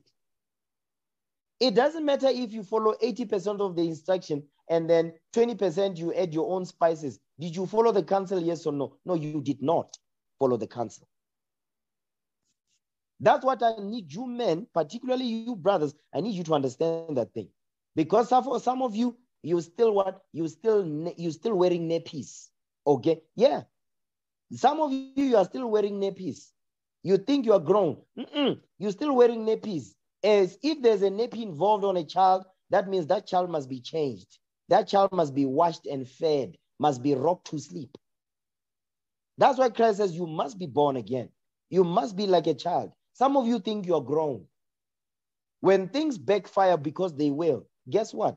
Everybody that you connected to, they are also going to receive the judgment. You wicked Negro, you. Read again, verse 9, verse 10. The book of Deuteronomy, chapter 17, verse 10. Go ahead. And thou shalt do according to the sentence which they of that place which the Lord shall choose shall show thee. And thou shalt observe to do according to all that they to all that they inform thee, Next verse. Go ahead. according to the sentence of the law which they shall teach thee, Mm. and according to the judgment which they shall tell thee, and thou Read. shalt do. Thou shalt do. You must do it. Go ahead. Thou shalt not decline from the sentence which they shall show thee, to the Mm. right hand, nor to the left. See that thing? It's very clear. It's very plain English. But guess what? The wicked Negro who thinks they know too much, guess what they will do? Excuse me, they will add their own spices. They will ignore the scriptures written right there in black and white. You understand that? Read on, verse 12. And the man that will do presumptuously, hmm. Presumptuously meaning what? Self willed. Self willed. They don't give a damn about what the Bible says. Go ahead. and will not hearken unto the priest that standeth to minister there before the Lord thy God, Mhm. or unto the judge, even that man shall die. Hold on a second. It says that man or that woman is going to drop dead. I didn't write this thing. It's what before my time. It says, even that man shall die. You gonna die. The Lord will send the death angel to take you out. Zorro. They always, they never miss. You understand? There's spirits that are created for vengeance. That means you want that. You want to feel the wrath of the Lord through the spirits that are created for vengeance. Hmm? You cannot make it up. Yeah. Keep going. And thou shalt put away the evil from Israel. You see that thing? So we're gonna bring it out so you re- peradventure you repent. If you don't, the Lord will put evil out of Israel, and we will too, as it is written. So I need you men and you sisters to understand this thing. When you are given instruction and counsel, when you come for counsel, you better follow the counsel the way it was given to you. Don't add your own things to it, because if you do, we're gonna have problems. And when the problem comes, guess where you're gonna go? You're gonna come back and say, No, I'm having problems such and such. Me, I'm just gonna sit there and just look at you and say, You telling me that you surprised when these things are happening to you? Why are you surprised for? You were given the counsel, you decided to do your own thing. Now the Lord is saying, Okay, I agree you like to play, no problem. So some of you, you can avoid a lot of problems and heartache in your life. But because you think you've grown, you acting like a black Asian Negro, just blowing smoke all over the place. Okay. Now watch this. Now go back to First Samuel 16. You know what? No, no, no, no. Let's go back to Wisdom of Solomon 1, verse 3, because that's where we were. Let's go back there. Wisdom of Solomon 1, verse 3. Watch this. Wisdom of Solomon, chapter 1, verse 3. Go ahead. For what thoughts separate from God Mm. and his power? When, when it is tried, reproved, when it is tried, reproveth the unwise. Because the unwise is going to be reproved. The unwise will be reproved. Do you understand? Next verse. Go ahead. For into Come on. for, for into a malicious soul, wisdom shall not enter. You see that the spirit of the Lord will not enter into a malicious soul, a soul that deals with malicious intent. Go ahead. No, dwell in the body that is subject unto sin. Meaning the body that gives them, you give yourself to sin. Wisdom of the Lord will not enter into your body, into your temple. Go ahead. For the Holy Spirit of discipline will flee deceit. Stop right there. This whole time, from the first Samuel chapter 10, first Samuel chapter 9, verse 27, we've been talking about the Holy Spirit. You understand? The Holy Spirit, which is the wisdom of the Lord. This whole time we've been that's been the subject matter. The Holy Spirit. Read verse 5 again. Wisdom of Solomon, chapter 1, verse 5. Mhm. For the Holy Spirit of discipline will flee deceit. You will flee malicious in a, a soul. You understand? A, a soul that has malicious intent. The Holy Spirit of discipline, because discipline is a spirit. Discipline is a spirit. You understand? That's why it says, because the Holy Spirit of discipline will, is not if or maybe, no, it's a fact, will flee deceit. If there's any type of deceit, the Holy Spirit of the Lord will leave and depart. Go ahead. and remove from thoughts that are without understanding. And the Holy Spirit is going to remove, the Spirit of the Lord will remove from your thoughts that are without understanding. Because how do we get understanding of the scriptures? Okay, get that in um Sirach 21. Okay, Sirach 21, verse 11. The book of Ecclesiastes, chapter 21, verse 11. Go ahead. He that keepeth the law of the Lord, getteth the understanding thereof. Come on. That the perfection of the fear of the Lord is wisdom. So if you keep God's commandments, you're gonna receive understanding. That's the only way. There's no any way around that. Because you be you are instructed out of God's laws. When you go against the instruction which is God's commandments, guess what? You're not gonna have understanding. And the Holy Spirit will flee your thought process, will flee your thoughts because your thoughts are without understanding. They are without that discipline. Because discipline is a spirit. You understand? Go back to Wisdom of Solomon 1 and 5. Read that again. Wisdom of Solomon, chapter 1, verse 5. Go ahead. For the Holy Spirit of discipline will flee deceit Mm. and remove from thoughts that are without understanding, Come on. and will not abide when unrighteousness cometh in. You see that thing? The Holy Spirit, which is the Spirit of the Lord, the Word of God, it says is going to depart, will not abide when unrighteousness cometh in. What is unrighteousness? Sin. When sin comes into your spirit, the Holy Spirit will leave. Because the Holy Spirit and your sin cannot exist in the same place. That's what you brothers and sisters don't understand. The Holy Spirit of the Lord cannot exist where sin is when sin is present.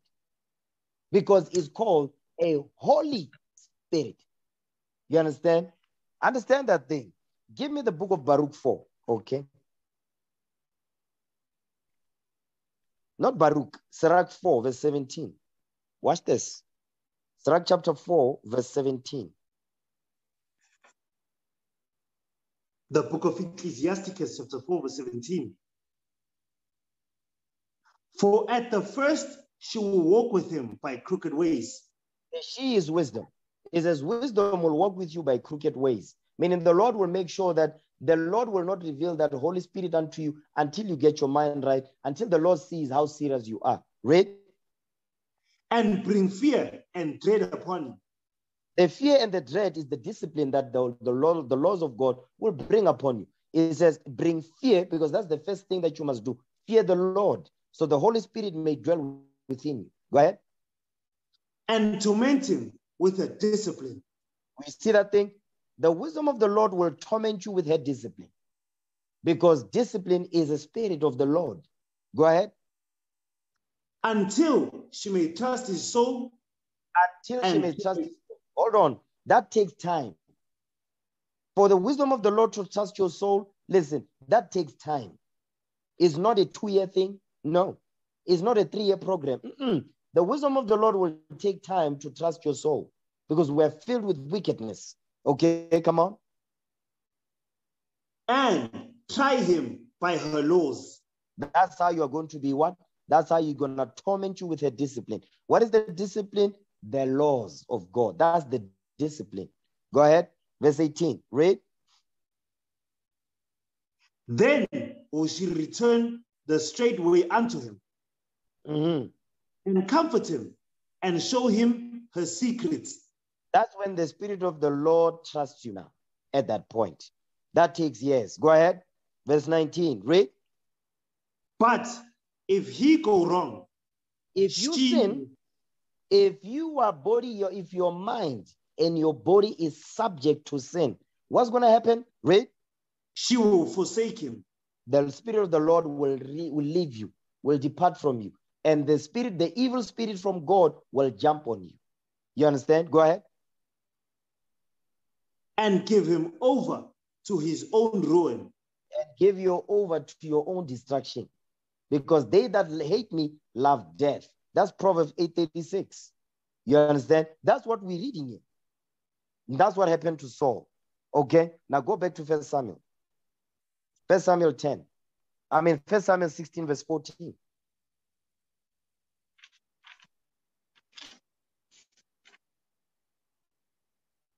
First book of Samuel, chapter 16, verse 14. Read.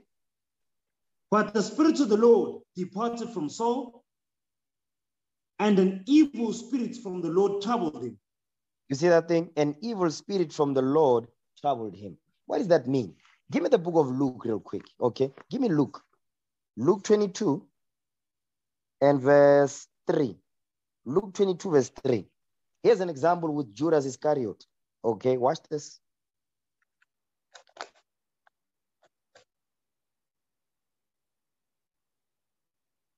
The book of Luke, chapter 22, verses 3. Read. Then entered Satan into Judas, surnamed Iscariot, Mm. being of the number of the twelve. You see that? It says, then entered Satan into Judas, surnamed Iscariot. You see that thing? So the spirit, the evil spirit from the Lord, that's Satan. The evil spirit from the Lord, that's the spirit of Satan. So go back to First Samuel 16, verse 14. That's what entered into Judas Iscariot. That's what they said. That's the same thing that happened to Saul. Okay? Read that. First Samuel 16, verse 14. First book of Samuel, chapter 16, verse 14. Go ahead. But the spirit of the Lord departed from Saul, Mm. and an evil spirit from the Lord troubled him. You see that thing? The evil spirit from the Lord troubled Saul. Read on. Watch this. Verse 15. Go ahead. And Saul's servant said unto him, Behold hmm. now, an evil spirit from God troubleth thee. Because they could see it. They could see where Saul has the devil on him. You understand? They could tell this guy has the devil on him now. They could tell. That's what he's saying right there. He says, And Saul's servant said unto him, Behold now, an evil spirit from God troubled thee. Because letting you know what is also letting you know that our forefathers, they knew when the devil jumps on you. They knew, they could tell. You understand? They knew they had that wisdom and understanding. Today, because we're so destroyed, we can't tell that until we come into this truth. You understand? Watch this. Now, give me the book of, give me First Samuel now. Give me First Samuel. Uh, I want to go back. First Samuel 15, verse 23. Watch what the Lord does now. When the spirit or evil spirit jumped on Saul, guess what? He had he developed the spirit of hatred towards King David because he was the next in line to be the king. Okay. Watch this. Get that in First Samuel 15, um, First Samuel 15, verse 23. First book of Samuel, chapter 15, verse 23. Go ahead. For rebellion is as the sin of witchcraft, Not oh yeah, keep going. And stubbornness is as iniquity and idolatry. Go ahead. Because thou hast rejected the word of the Lord, he hath also rejected thee from being king. Now read the next verse. Read verse 24. Watch this because verse 23, we went over this, we explained it. Now read the next verse. Go ahead. First book of Samuel, chapter 15, verse 24. And Saul said unto Samuel, I have sinned, for I have transgressed the commandment of the Lord and thy words, because Hmm, I read. feared the people. Hold on. Wait, wait, wait. Read that verse again. Verse 24. First book of Samuel, chapter 15, verse 24. Go ahead. And Saul said unto Samuel, I have sinned, for I have transgressed the commandment of the Lord and thy words, because I feared the people and obeyed their voice. Hold on. You you see what happened? Read verse 24 again. First book of Samuel, chapter 15, verses 24. Go ahead. And Saul said unto Samuel, I have sinned, Mm. for I have transgressed the commandments of the Lord and Mhm. thy word, because I feared the people and obeyed their voice. You see what he's saying? So be, remember, now Saul wants to get, he wants to apologize. But this whole time, he's been making excuses the whole time. So what is that going into? That goes into when you are corrected, you make excuses, you don't take correction and all that. Guess what? The Most High God, when it's time for you to say, I want to get myself right, the Lord said, No, no, no, not yet. I'm going to punish you first. Then when I'm satisfied, then I'll allow you. You understand? So that's what we're reading here. The Most High God was just he was he was just upset with Saul, okay, and Saul still didn't see his wrong because he's blaming the people. He says, "Because I've transgressed the commandment of the Lord and Thy words, because I feared the people and obeyed their voice." You see that? The Lord didn't give us the spirit of fear. So what is he talking about? Go ahead. Come now, therefore, I pray thee, pardon my sin, Mm. and turn again with me, that I may worship the Lord. So now he's asking for pardon for his sins. Watch this. Read on, verse 26. First book of Samuel, chapter 15, verse 26. Come on. And Samuel said unto Saul, I will not return with thee, for thou hast rejected the word of the Lord, and the Lord hath rejected thee from being king over Israel. You see that thing? When you reject God's commandments, the Lord will also reject you. But the Lord is not going to come down here. The Lord will use the judges that He set up to give you what He saying. Your job is to take what is coming out at the mouth of the prophets by the Most High God and apply it. That's that's the job. You understand? Ray? And as Samuel turned about to go away, he laid hold upon his skirt of his mantle and Hmm. rent. So what happened was that when Saul, when Samuel was leaving, Saul he took hold of, of, of Samuel's garment. You understand the cape, and it tear in two because he was holding on to it as Samuel was leaving. And the Samuel's mantle is where it says it rent, meaning it teared apart. Go ahead. And Samuel said unto him, The Lord hath rent the kingdom of Israel from thee this day, Mm. and hath given it to a neighbor of thine that is better than thou. Yo, that's cold right there. That's some heavy stuff right there. So we can't play with the Most High. We must be serious in this truth. We must have the spirit of gravity, like we're going over on Tuesday. You understand? It says, and he says, and give it to a neighbor of thine that is better than you. Mm. That's some heavy stuff. So we must humble ourselves before the Lord. Understand that thing. Don't think you're the best thing that has ever happened since sliced bread. Don't do that. When you are given something to do, don't be twancing minwana, wanting to act like a jukebox. No, don't be doing that. That's the spirit of Satan. You understand? Watch this. Give me Acts chapter 13, verse 22. Read that. Acts chapter 13, verse 22. Read what you got.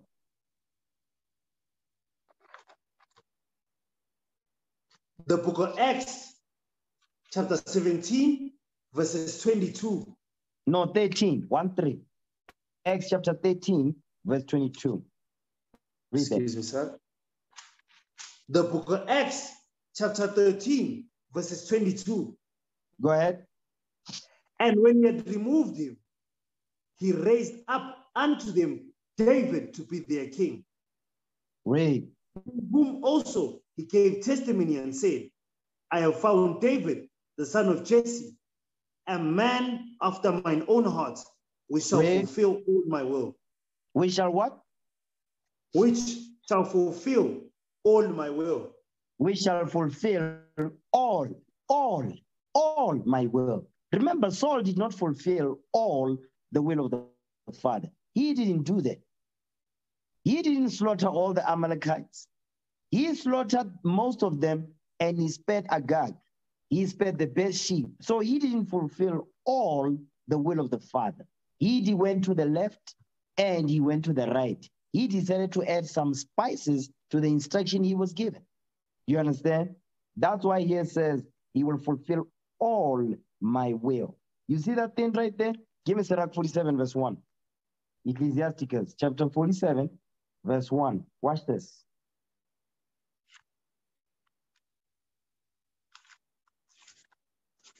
The book of Ecclesiastes, the book of Ecclesiasticus, chapter 47, verse 1. Go ahead. And after him rose up Nathan to be to prophesy in the time of David. After him, the him is Samuel. The him is the prophet Samuel that died. After him, the Lord rose up another prophet in Israel. You understand? To prophesy unto the king that will be set up. That prophet was Nathan. Okay, read verse 1 again. The book of Ecclesiasticus, chapter 47, verse 1. Read And it. after him rose up Nathan to prophesy in the time of David. Come on. As is the fat taken away from the peace offering. So was David chosen out of the children of Israel. So because he was what? He was going to be that righteous sacrifice to Israel. Go ahead. He played with lions as with kids, Mhm. and with bears as with lambs. Meaning he was a mighty man. Go ahead. Slew he not a giant when he was yet but young? And he did not take away reproach from the people when he lifted up his hand with the stone in the sling and beat down the boasting of Goliath? You can read about that in First Samuel chapter 17. Go ahead. For he called upon the Most High Lord Hmm. and gave him strength in the right hand to slay that mighty warrior and set up the horn of his people.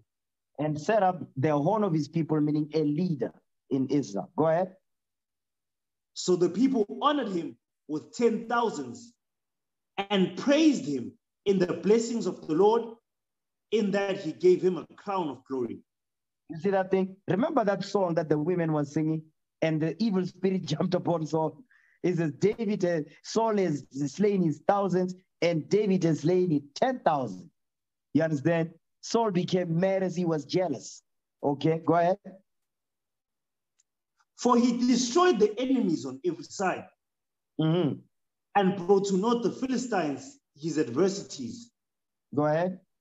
break their horn in sunder unto this day. Read. In all his works, he praised the Holy One Most High with words of glory. Come on. With his whole heart, he sang songs and loved him that made him. See that thing right there? So David was always praise, giving the Most High God praise all the time. All praises to the Most High. However, the thing small it is, praise the Lord. You understand? That's the spirit we all must have. You understand? That's the spirit of what humility. To understand the Most High God is the one that is in control of everything. Go ahead. Verse 9. He set singers also before the altar, Mhm. that by their voices they might make sweet melody and daily sing praises in their songs. And daily sang praises in their songs because they were prophesying by singing. Go ahead. He beautified their feasts and set in order the solemn times until the end, Go ahead. that they might praise his holy name and that the temple might sound from morning. See that thing? That's what we're doing today. We are beautifying what is as he beautified their feasts and set in order the solemn times until the end, that they might praise his holy name. That's what we're doing today. You understand? The little that the Lord has blessed us with, we observe the high holy days. You understand? We teach our people the laws of God. No matter what's going on, you understand? We always go out there. Because why? Don't, don't worry about the numbers right now. You worry about keeping God's commandments and do what the Lord has commanded us to do. The Lord will increase in due time. Understand that. Go ahead.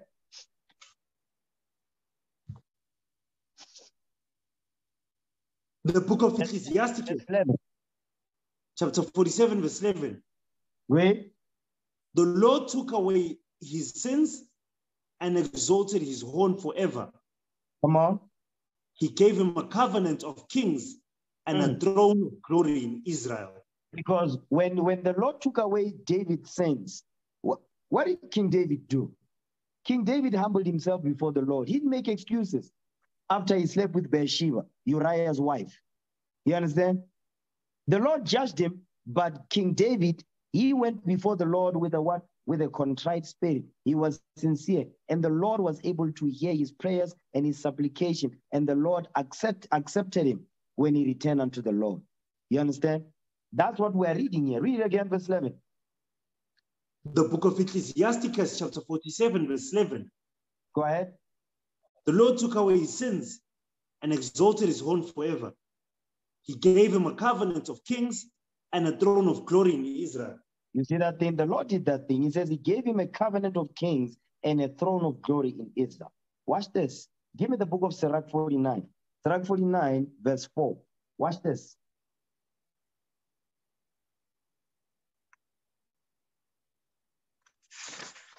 The book of Ecclesiasticus, chapter 49, verse 4. read. All except David and Ezekias and Josias were defective, Mm. for they forsook the Lord the Most High. Even the kings of Judah failed. You see that thing right there? So the Lord is saying, He says, listen, all except David, Hezekiah, that's Hezekiah. You understand? The father of Manasseh. He says, and Josiah, he says they were defective. He says everybody else was defective, for they forsook the law of the Most High. Even the kings of Judah failed. Why? Because the Most High God, listen, they found favor in the sight of the Lord. You understand? They repented, they got themselves right. They didn't make excuses when the correction came. Watch this. Get that in Psalm 61, verse 7. I'm going to show you the spirit of our forefather King David. This is the spirit he was rolling in. Watch this. Okay. When the Lord, he says what? He took away his sins. Watch this. Psalm 61, verse 7.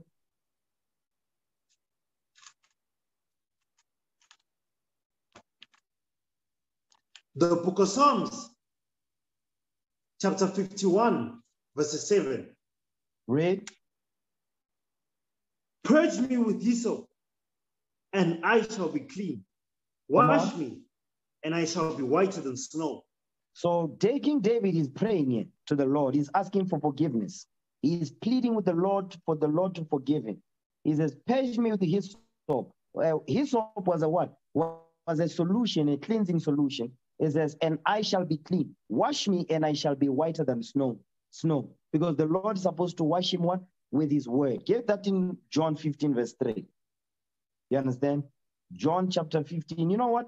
Let's use the one in Psalm. Psalms 119, verse 9. Psalms 119, verse 9. Let's just read that one.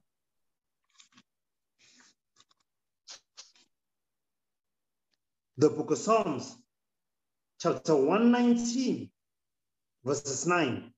Go ahead. Wherewithal shall a young man cleanse his way? Mhm.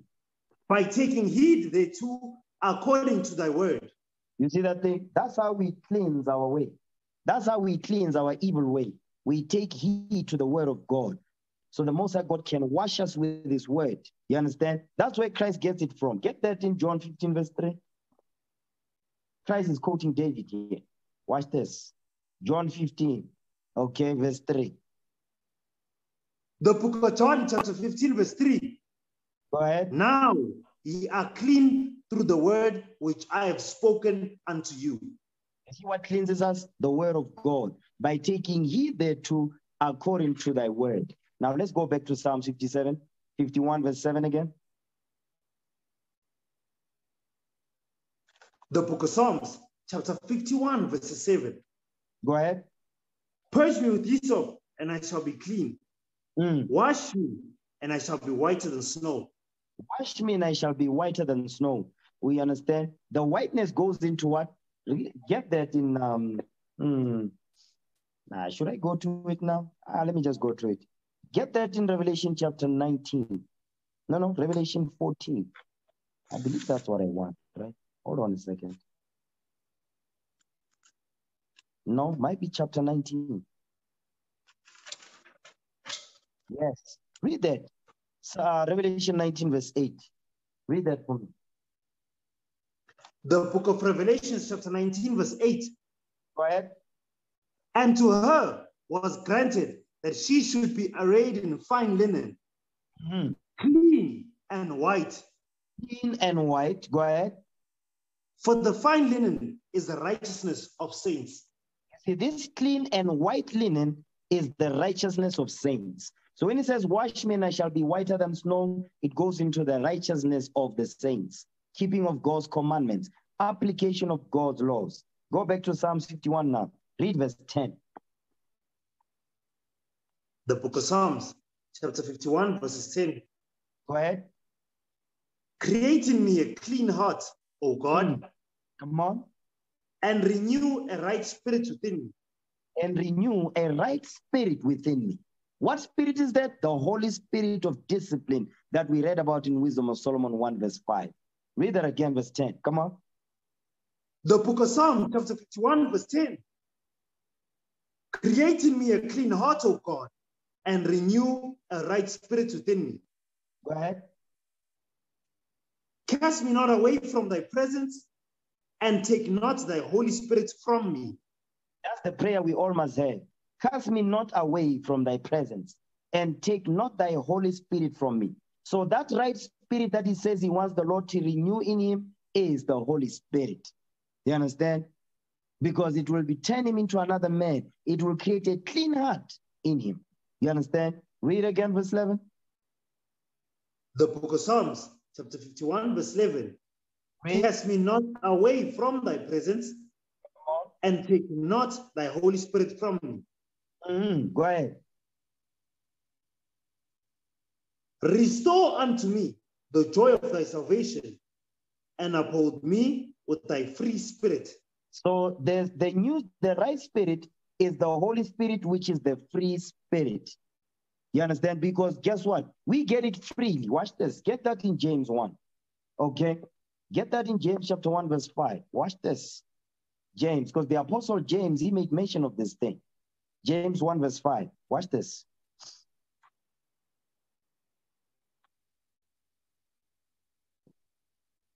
The book of James, chapter 1, verse 5.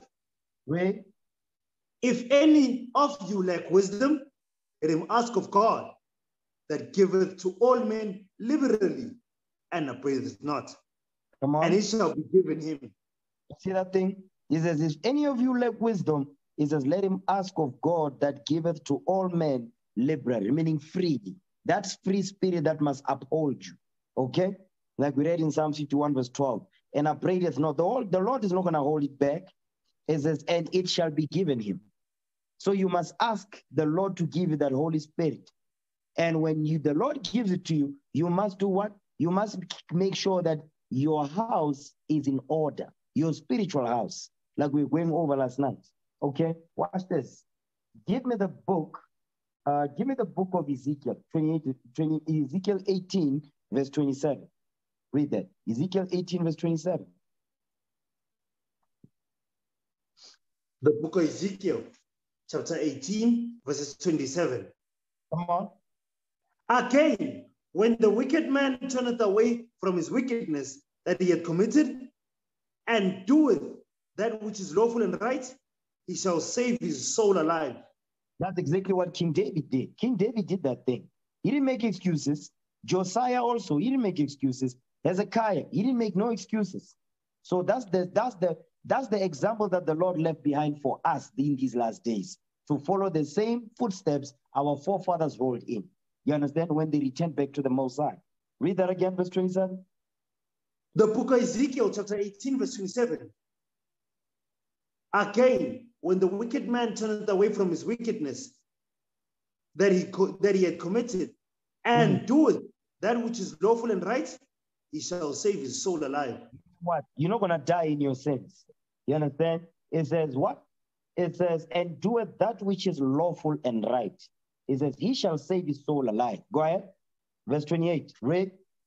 Because he considered it, He does what? and turned away from all his transgression that he had committed. Go- He- okay, read that again. Hold on. Because he what? Because he considered it, Because he considered. He considers the evil that he has done. He's considering the wickedness that he has done, this, the laws that he's broken, the evil that he's done before the Lord. You consider those things. That's what our forefather King David did. You understand? Saul didn't do that thing until it was too late because he was making excuses. He didn't want to take responsibility. He didn't want to take accountability. Do you understand? Read that again, verse 28. the book of Ezekiel, chapter 18, verse 28. Read. Because he, he considered it and turned away from all his transgressions that he had committed, Read. he shall surely live, he shall not die.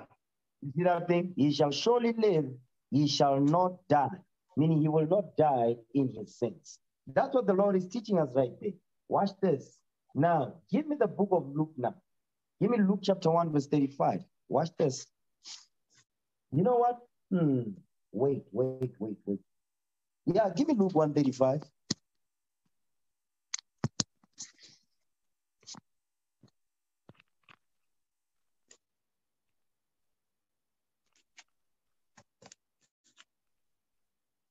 The book of Luke, chapter 1, verse 28.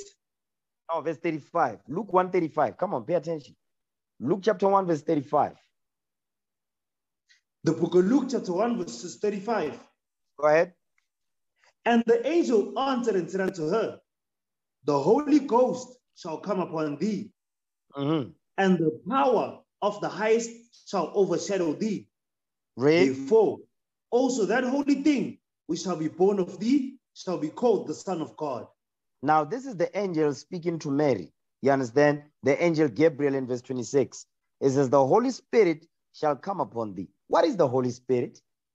The Holy Spirit is the free spirit, the word of God. Watch this now. Give me the book of Acts, chapter 6, verse 3. Okay, the Holy Spirit that will come upon Mary, the power of the highest will overshadow Mary, meaning will direct her on what to do. We're dealing with the Holy Spirit, the Spirit of the Lord that will come upon you. Watch this. Acts chapter 6, verse 3. Let's read that. The book of Acts, chapter 6, verse 3. Go ahead. Wherefore, brethren, look ye out among you seven men of honest report, full of the Holy Ghost and wisdom, whom we may appoint over this business. Because there was a problem in the church where the Jews that grew up in Greek customs were complaining against the Hebrews, meaning our forefathers that grew up in what? In the law. You understand? It says, because their widows were neglected in the daily ministration. You can read verse 1, it will tell you that. Okay. So now they say, listen, their disciples, the apostles are listen, listen. Let's set up men, let's set up a leadership under us that is going to be able to deal with such matters because they had other matters to deal with. You understand? But they needed men that were full of the Holy Ghost. Okay. Jump down to verse 5. Read, The book of Acts, chapter 6, verse 5. read. And the saying pleased the whole multitude. And they chose Stephen, a man full of faith and of the Holy Ghost, and Philip, and Prochorus, and Nicanor, and Timon, and Parmenas, Parmenas. and Nicholas,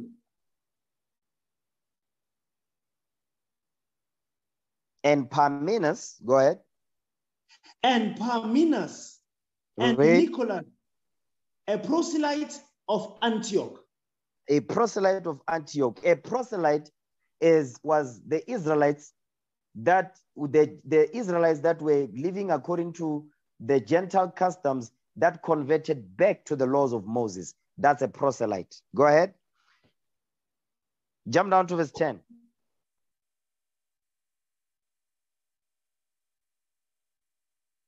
Come on, verse 10. The book of Acts, chapter 6, verse 10. Read. And they and they were not able to resist the wisdom and the spirit by which he spake. Let's talk about Stephen now. He says they were unable to resist the wisdom and the spirit by which he spake because he was full of the Holy Ghost. Stephen. Okay, watch this. Now give me chapter 7. Okay. Acts chapter 7, verse 51. Watch this. The book of Acts, chapter 7, verses 51. Go ahead. Ye stiff-necked and uncircumcised in heart and ears. Ye do always resist the Holy Ghost. As your fathers did, so do ye. Remember, he's, he's addressing the Jews, the scribes and Pharisees that was rebellious as hell. You understand? And they were unable to resist the wisdom of the power by which he spake.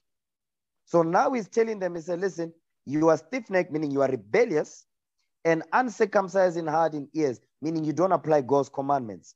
You do always resist the Holy Ghost because why? When you are stiff-necked and you are uncircumcised, meaning in your spirit, you will have the spirit of resistance. That's the point. You will have the spirit of resistance, which is the spirit of Satan. Get that in Zacharias, okay? That's why it says you do always resist the Holy Ghost. Get that in Zechariah 3, verse 1. The book of Zacharias, chapter 3, verse 1. Go ahead. And he showed me Joshua, the high priest, standing before the angel of the Lord, and Satan at his right hand to resist him. You see that thing? and Satan at his right hand to resist him. Instead of the Most High God to be in your right hand, Satan is in your right hand to resist what? To resist God's counsel, God's commandments, like our forefathers was doing in the book of Acts chapter 7 when Stephen was rebuking them. So go back to Acts 7:51 again. The book of Acts, chapter 7, verses 51. Go ahead. He is stiff-necked and uncircumcised in heart and ears. Mm. You do always resist the Holy Ghost. As your fathers did, so do ye. Did you always resist? Resist because why? Satan is at their right hand. They always resist the Holy Ghost. As our fathers did in the wilderness, so do we this day in 2021. Go ahead, verse 52. Read. Which of the prophets have not your fathers persecuted? And they have slain them, which showed before of the coming of the just one, of Mm. whom ye have been now the betrayers and murderers. You see, you see, our forefathers, the prophets, he says they were persecuted because they showed before of the coming of the just one. So they were prophesying the coming of Christ. They had the Holy Ghost on them as well. The Holy Ghost was upon them. Go ahead. who have received the law by the disposition of angels and have not kept it. You see that thing? The Holy Ghost that they were resisting was the laws of God, the word of God, the spirit of the Lord. That's what they were resisting. The Holy Ghost, the same spirit of Christ that will guide Mary on what to do. Once the spirit of the Lord is upon you, the spirit of the Most High God is the one that is ordering your steps. Understand that thing. Okay. So go back to Luke 1. Okay. Luke 1, verse 35 again. The book of Luke, chapter 1, verses 35. Go ahead. And the angel answered and said unto her, The Holy Ghost shall come upon thee, and the power mm. of the highest shall overshadow thee. That Therefore, and the power of the highest shall overshadow thee.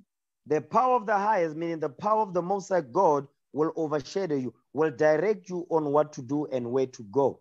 Where to go, what to do when you arrive there. Okay, hold this. Give me that in Psalms 37, verse 23.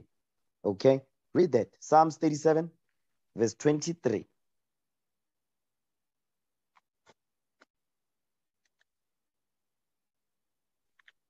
The book of Psalms, chapter 37, verses 23. Mhm. The steps of a good man are ordered by the Lord, Come on. and he delighteth in his way. You, this man, this man, which is a good man, according to the laws of God, Luke 8 15, it says what? It says, The steps of a good man are ordered by the Lord, and he delighteth in his way. So if you apply God's commandments, your steps will be ordered by the Most High God. The Holy Spirit will overpower, uh, over, will overpower you. The power of the highest will overshadow you, will direct you on what you need to do, how we need to build a camp, what where we need to teach. When we arrive there, what must we teach? When the people ask the questions, how are we gonna answer them? We're gonna edify them. We're gonna slay the demons that go against this book. So on, that's all the spirit of the, the Lord doing this thing. It's not any of us. Okay. So let's go back. Go back to Luke 1, verse 35. Come on. The book of Luke, chapter 1, verse 35. Go ahead. And the angel answered and said unto her, The Holy Ghost shall come upon thee, and the power of the highest shall overshadow thee. Read. Therefore, also, that holy thing which shall be born of thee shall be called the Son of God. Jump down to verse 41 now. Come on. The book of Luke, chapter 1, verses 41. Go ahead. And it came to pass that when Elizabeth heard the salutation of Mary, the babe lived in a womb, and Elizabeth was filled with the Holy Ghost. You see that thing? It's the same spirit that jumped on Mary is the same spirit that jumped on Elizabeth. You understand? When Mary got to her cousin's place, you understand? The babe lived, meaning John the Baptist lived in Elizabeth's womb. Okay? He, go, he got excited. Jump down to verse 67. So what's going on is that the Holy, the Spirit of the Lord will what will guide you to prophesy. You'll prophesy the things that are written in this book. Today, the things that we teach about what we prophesy about is written already. Our job is to make it, is to study, to apply God's commandments so we can receive understanding. Go out there, give our people the sense, make it make sense to them. You understand? It's called prophecy. We teach Deuteronomy 28. It happened already. You understand? That's history. Our people must know that thing. You understand? And we teach you also repent, for the kingdom of heaven is at hand. That's prophecy because the kingdom of heaven is not being established yet on earth, but it is at hand. You understand? America is going to be destroyed. Two thirds of our people will not make it in Babylon the Great. You see that thing? The Lord will gather us from all over where we are scattered. The nations will collect, will bring us to Zion also. That's what we that's what that's prophecy right there. You understand? Because the spirit of the Lord is upon the prophets. Okay? Now read verse 67. Go ahead. The book of Luke, chapter 1, verses 57. Read. Now Elizabeth was full. Now Elizabeth's full time came that she should be delivered. Hold on. Wait, what? Wait, what verse you at? No, verse 67. Apologies, sir. The book of Luke, chapter 1, verses 67. Go ahead. And his father Zacharias was filled with the Holy Ghost and prophesied, saying, You see that thing? That's the same thing that happened to Saul. When he met that company, when he met the company of prophets and they prophesied, he also prophesied among them because the Spirit of the Lord jumped on him. So what's going on here says Zechariah, which is John the Baptist's father, he says he was filled with the Holy Ghost. The Spirit of the Lord was upon him. And he started to prophesy about the things that are to come. Go ahead. Verse, verse 68. Read. Blessed be the God, blessed be the Lord God of Israel. Go ahead. For he hath visited and redeemed his people. Read. And hath raised up an horn of salvation for us in the house of his servant David. Read. As he spake by the mouth of the holy of his holy prophets, which have been since the world began. You see, he's prophesying. Is that he's, he's telling you that the prophets that came before him, they also prophesied of the coming Messiah. Already Mary has already been given prophecy of what was coming. Elizabeth also, John the Baptist's as father's wife, John the Baptist's mother also had the Holy Ghost upon him. You understand? Of the coming Messiah. So they are prophesying. Once the Spirit of the Lord is upon you, you'll be able to prophesy of the things to come as it is written. You understand? Go ahead. That we should be saved from our enemies. Come on. And from the hand of all that hate us. So you know, you know what's heavy about this verse, right? What's heavy about this verse is that our people in the world, our people in the world, they they want everybody to be saved. You know why they want everybody to be saved? Because the Holy Spirit of the Lord is not upon them. Once the Holy Spirit of the Lord is upon you, the things that you will speak is the things that will be biblically sound and you'll find them as they are written. But our people, they want everybody to get delivered. You understand that? They, yeah, that's it. That's an, a prime example that the Holy Spirit is not upon them. The reason why I'm bringing this class out is so that you brothers can understand what does it mean to have the Holy Spirit. You understand? What does it mean? When you read Acts 751 to 53, you will understand all the history that we just brought out. Okay, watch this. Now, give me, give me the book of Luke. Give me Luke 2. Luke chapter 2, verse 25. Watch this. Here's another of our forefathers that had the Holy Spirit upon him. Okay, and these are the things that he prophesied about. Okay, watch this. Luke chapter 2, verse 25. Come on. The book of Luke, chapter 2, verse 25. Go ahead. And behold, there was You know a what? man in You know what? Wait, wait, wait, wait. There's something I, I want to bring out based on that. Go back to Luke 171. I want to show you something with this verse right here. Okay, the book of Luke, chapter 1, verse 71. go ahead. That we should be saved from our enemies Mhm. and from the hand of all the haters. You see, you see that verse right there. Our people, when they talk about salvation, salvation, when you read that verse right there, our people don't believe it. You know why? Because the Holy Spirit of the Lord is not upon them. That's why they, they, they struggle with this. Because spiritually, this is what they know, but they don't want to admit it. Wisdom of Solomon 18, verse 7. I'm going to show you something with this thing. Watch this. This is what they don't want to accept. Okay. That's why they will resist when this scripture comes out. Read.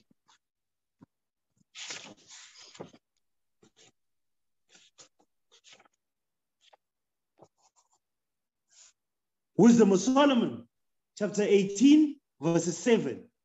Read.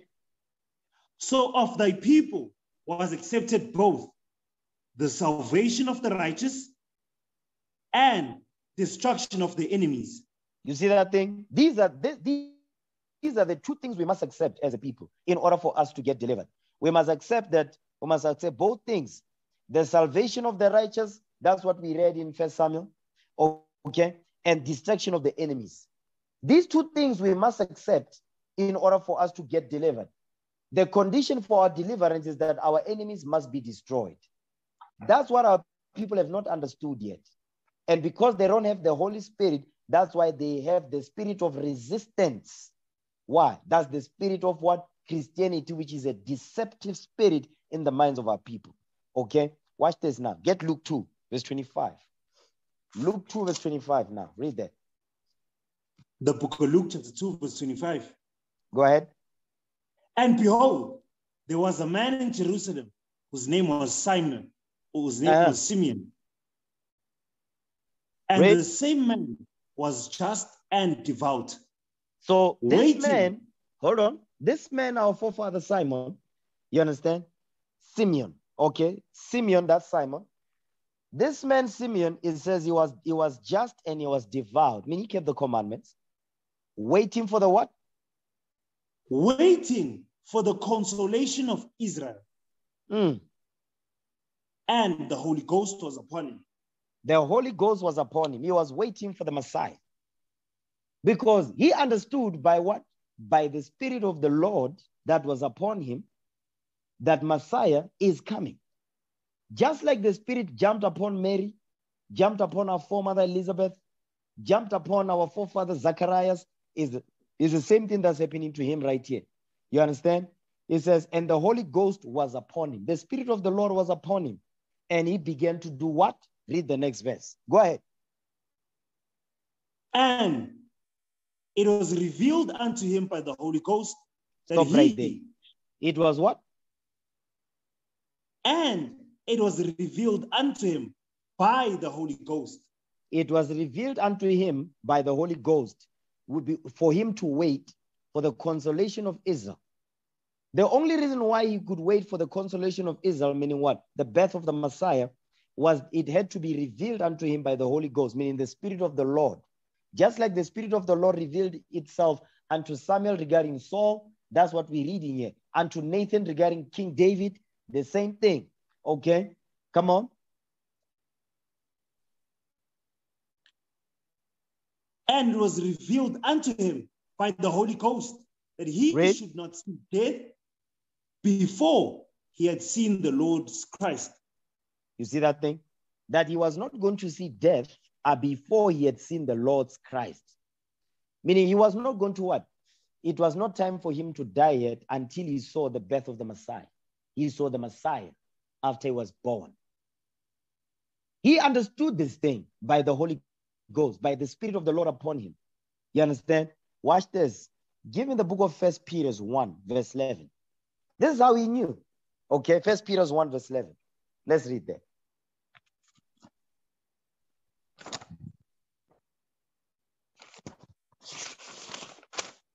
First book of Peter, chapter 1, verse 11. Go ahead. Searching what?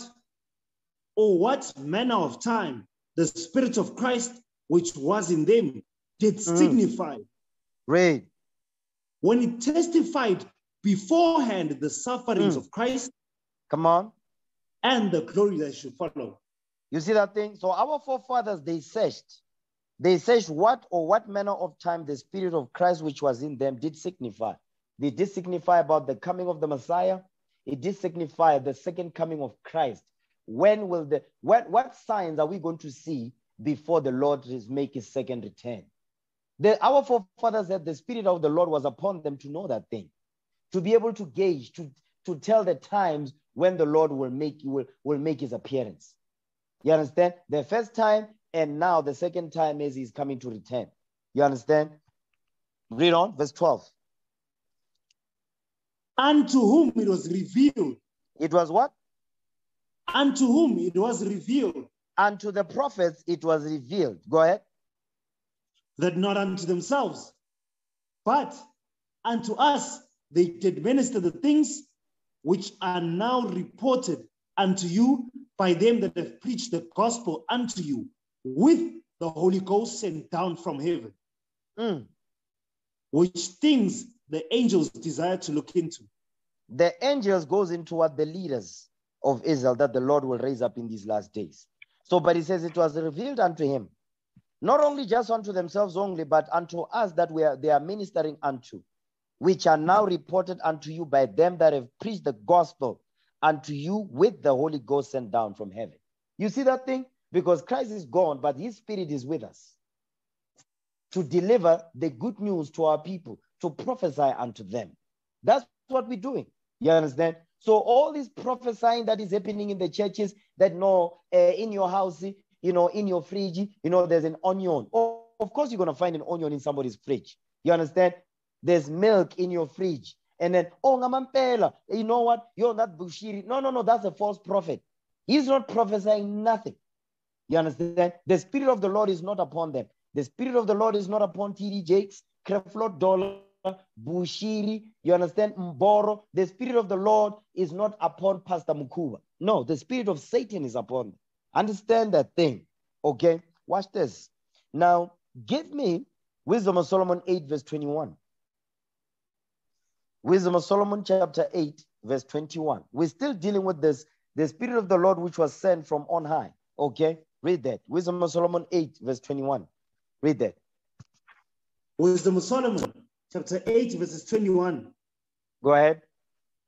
Nevertheless, when I perceived that I could not otherwise obtain her, Mm. except God gave her me, Read. and that was a point of wisdom also, to know whose gift she was. Read. I prayed unto the Lord and besought him, and with my whole heart I said, Now, now, King Solomon, says he prayed for her. He prayed for her. The hair is wisdom in verse 1. Read verse 1. Wisdom of Solomon. Wisdom of Chapter 8, Solomon, verse 1. chapter 8, verse 1. Go ahead. Wisdom reacheth from one end to another mightily, Mm. and sweetly does she order all things. The wisdom of the Lord will order all things sweetly. Watch this. Wisdom of Solomon 9 and 9. Okay, watch this. Come on. Wisdom of Solomon, chapter 9, verse 9. Come on. And wisdom was with thee, which knoweth thy works, and Come on. was present when thou madest the world, and knew what was acceptable in thy sight, and right in thy commandments. So King Solomon is talking about wisdom because he's praying to the Lord for this wisdom. Read on. Come on. O send her out of thy holy heavens, Mm. and from the throne of thy glory, that being present, she may labor with me, Read. I may know what is pleasing unto thee. The only way you're going to know what is pleasing unto the Lord, you must have the Spirit of the Lord upon you, which is what the Holy Spirit, the Spirit of Christ. Go ahead. Which is God's commandments, which will give you the spirit of understanding of what the scriptures are saying. Read. For she knoweth and understandeth all things, Mm. and she shall lead me soberly in my doings, and preserve me in her power. You see that thing? It says, because she knoweth all, she knoweth and understandeth all things. That's why our forefather Zachariah, she knew, she understood, he understood all things. He knew all things. Mary, okay, our foremother, Elizabeth, our foremother, our the prophet Samuel, the prophet Nathan, and so forth. The spirit of the Lord was upon them, and they knew all things and they understood all things. You understand? Just like our forefather Simeon, he understood that. He understood. He says, I don't want to, I'm not ready to go yet until I saw the consolation of Israel. Meaning what? The Messiah. Okay. Now go back to Luke. Okay. You know what? Give me First Corinthians 1 24. Let me show you something heavy about this thing. First Corinthians 1, verse 24. Watch this.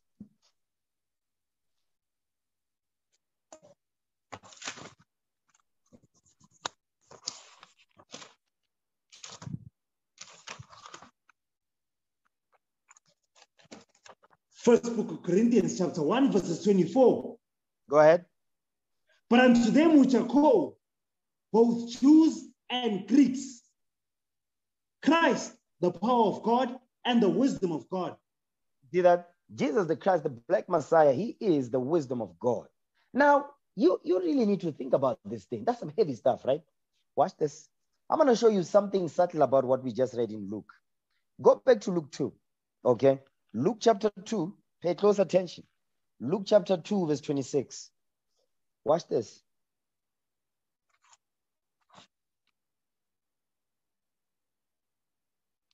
Come on, Luke 2, verse 26. The book of Luke, chapter 2, verses 26. Read. And it was revealed unto him by the Holy Ghost Mm. that he should not see death before he had, before he had seen the Lord's Christ. Now, I want you to think about this thing, right? Christ is not born yet. You understand? So, so no, Christ is born in verse 21 because yeah, what are they doing? They um they they are circumcising him. It's on the eighth day, but he has not seen him yet. You understand? He has not seen him. Christ is born, but he has not seen Christ yet. But he's going to see him. Then that's when he's going to be taken. He's going to return back to the Father. But I want to show you something with this verse right here. Read that verse again, verse 26. Pay the close book of. Luke, chapter 2, verses- verses 26. Go ahead. And it was revealed unto him by the Holy Ghost that he should not see death before he had seen the Lord's Christ. hold on. So Christ, he he he he's he pro he was prophesying about Christ. You understand? Christ is still a baby. Okay, Christ is still a baby, and he's prophesying with the spirit of Christ. Mm, that's heavy, right? Think about it. Christ is still a baby, and he's prophesying in the spirit of Christ. So the prophets that came way before, you understand? Prophet Samuel, David, King Solomon, you understand? All the prophets that came before, all of them were prophesying in the spirit of Christ before the Messiah was even born. Mm. That's heavy, right? That's a mind bending thought right there. That's some heavy stuff. You, you brothers understand that? Are Yes, you sir. brothers understand? what Yes, I'm talking sir. about? That's some heavy Yes, stuff right there. Now watch this. Read verse 26. Okay. Read verse 26 again. The book of Luke, chapter 2, verses 26. Go ahead. And it was revealed unto him by the Holy Ghost Mm. that he should not see death before he had seen the Lord Christ. Come on. And he came by the Spirit into the temple. Hold on. So he came, he says he came by the Spirit, the Holy Spirit, the Spirit of Christ. He came by the Spirit of Christ in the temple. Go ahead. And when the parents brought in the child Jesus to do for him after the custom of the law, Read. then took he, then took he him up in arms and blessed God and said, He says he took him, he, he says, then took he took he him up in his arms and blessed God and said, Go ahead. Read. Lord, now lettest thou thy servants depart in peace according to thy word. Read verse 29 again. The book of Luke, chapter 2, verse 29. Go ahead. Lord, now lettest thou thy servants depart in peace according to thy word. He says, Now my thy servant can depart in peace because now I've held the child, I bless the Lord. You understand? And he says he came into the temple in the spirit of Christ to come and see Christ when he was still a child. Hmm. Go ahead. For mine eyes have seen thy salvation, You see that thing? For mine eyes have seen thy salvation, the consolation of Israel in verse 25. Because guess what? He knew that, okay, he's going to be responsible for delivering us, but not during that time. Okay, obviously. Go ahead. Which thou hast prepared before the face of all people. Mm, which thou hast prepared before the face of all the people. Go ahead. Keep reading. A light, a light to lighten the Gentiles and the glory of thy people Israel. He says, a light to lighten the Gentiles, meaning northern kingdom, to bring northern kingdom into the what? Into the fold. So Simeon is prophesying right here. He says, this Christ, this Messiah, is going to be a light that will lighten the Gentiles and the glory of thy people Israel. Get that in Luke chapter 1. Luke chapter 1, okay? Luke chapter 1, verse 79. You know what? Start of verse 78.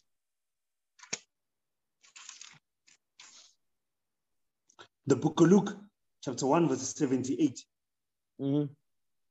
Through the tender mercy of our God, whereby the day spring from, an, from on high had visited us, That day spring is talking about Christ. That's not a question, it's a statement. The day spring from on high hath visited us. Read on, verse 79. Come on. to give light to them that sit in darkness and in shadow of death, to guide our feet into the way of peace. So now Christ will do what? He will be a light to them that sit in darkness and in the shadow of death, meaning in slavery. Okay, get that in Luke 4, I mean Matthew 4. Get Matthew chapter 4 and verse 16. Because he was, he was what? Simeon is prophesying that Christ is going to be a light to the Gentiles, meaning northern kingdom. We're going to read about them right now. Okay. Luke, I mean Matthew 4. You know what? Read verse 15. Matthew 4 15. The book of Matthew, chapter 4, verse 15. The land of Zabulon and the land of Naphtali, by the way of the sea, beyond Jordan, Galilee of the Gentiles. because he was go- he's going to be a light to the Gentiles. Go ahead. Zebulon, Naphtali, these are northern kingdom tribes. Okay, come on. The people which sat in darkness saw great light, Read.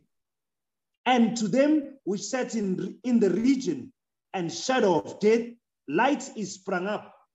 That's that light that Simeon is talking about. Go back to Luke 2 now. Luke chapter 2 and verse 32 again. The book of Luke, chapter 2, verses 32. Go ahead. And light to lighten the Gentiles and the glory of thy people Israel. Meaning all 12, all 12 tribes of Israel. Go ahead. And Joseph and his mother marveled at those things which were spoken of him. The things that were spoken of his son, okay, by Simeon. Go ahead. And Simeon blessed them and said unto Mary, his mother, Behold, the child is set for the fall and rising again of many in Israel, Read. and for a sign which shall be which shall be spoken against. Because the scribes and Pharisees are going to speak against him. The fall and the rising goes into what? He will be crucified. He will rise again the third day. Go ahead. Verse 35. Read. Yea, a sword shall pierce through thy own soul also, You hold on, stop right there. It says, Yeah, a sword shall pierce through thine or thy own soul also. Their own soul is talk about Joseph's own soul. Who's that? Jesus the Christ. It says a sword will pierce through his own soul. Read on. that the thoughts of many hearts may be revealed. Because many of our people they said crucified him. You understand? Watch this. Get that in Revelation 1, verse 7. Okay. Revelation 1, verse 7.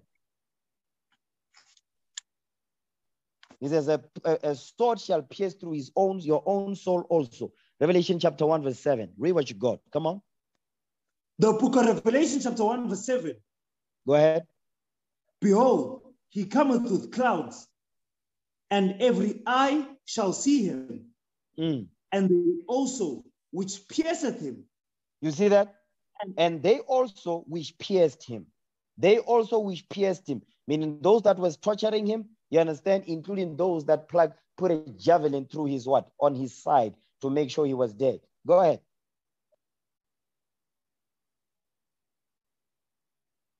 Come on. my bearings. Verse 7 again. Revelation 1, verse 7. Stay with me. The book of Revelation, chapter 1, verse 7. Behold, he cometh with clouds, and every eye shall see him, Mm. and they also which pierced him, and all and all kindreds of the earth shall wail because of him. Even so, amen. Amen to that thing. Amen to that. Okay. The Lord will bring forth vengeance upon them. Okay, let's go back. Luke chapter 2, verse 35. Luke 2, verse 35. Let's go back there again so we can understand what is being said here. Read again, verse 35. The book of Luke, chapter 2, verses 35. Go ahead. Yea, a sword shall pierce through thy own soul also, Mm. that the thoughts of many hearts may be revealed. That the thoughts of many hearts may be revealed. Because our forefathers, they said, What? Crucify him. Let his blood fall upon us and our children. Get that in Matthew 27, verse 22. Read that.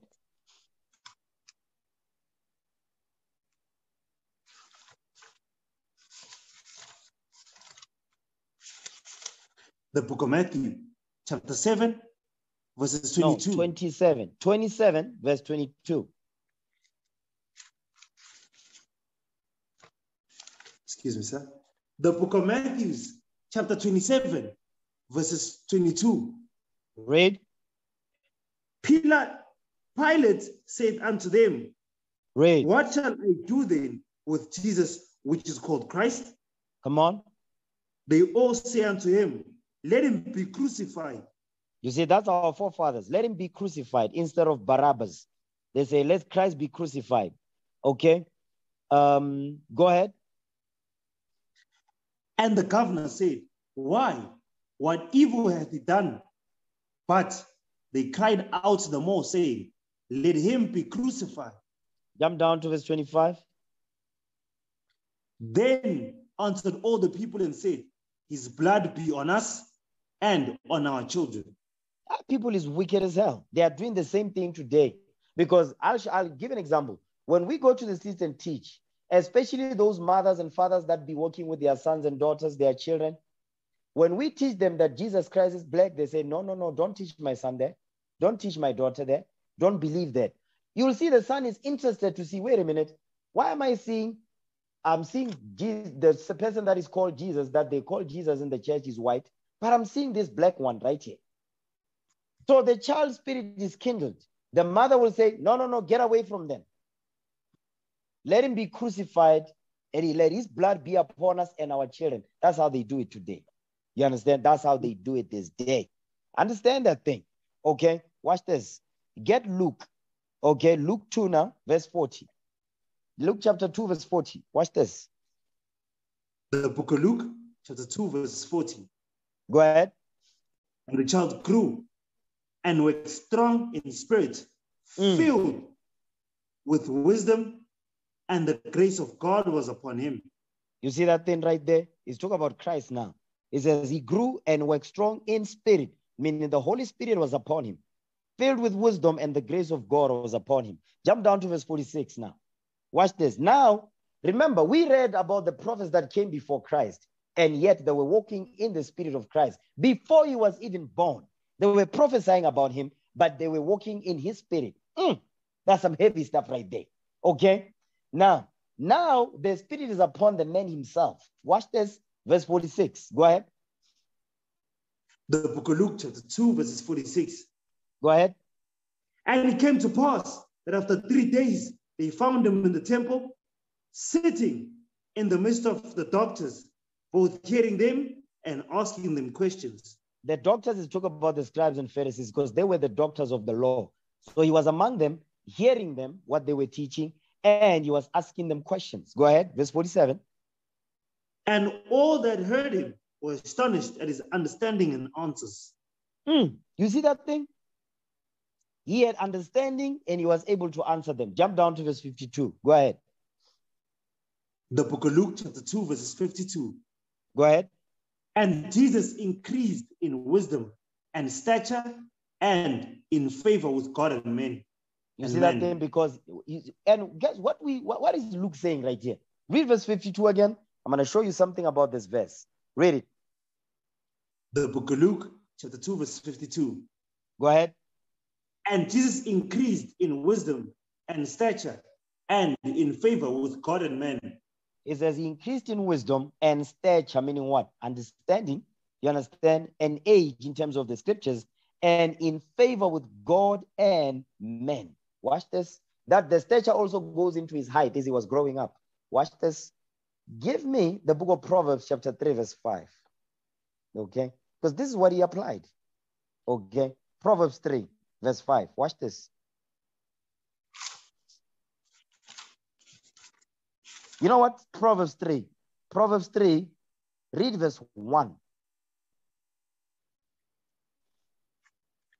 The book of Proverbs, chapter 3, verse 1. Come on. My son, forget not my law, but let thine heart keep my commandments. Let thine heart keep my commandments. Jump down to verse 4 now. Go ahead. So shalt thou find favor and good understanding in the sight of God and men. That's exactly why. That's why he found the favor with God and men. Because why? He did not depart from the laws of God that his parents taught him. You see that thing right there? That's what Proverbs. We are, Luke is quoting Proverbs right here. Okay, watch this. Now, give me Luke. Okay, give me Luke 24, verse 45.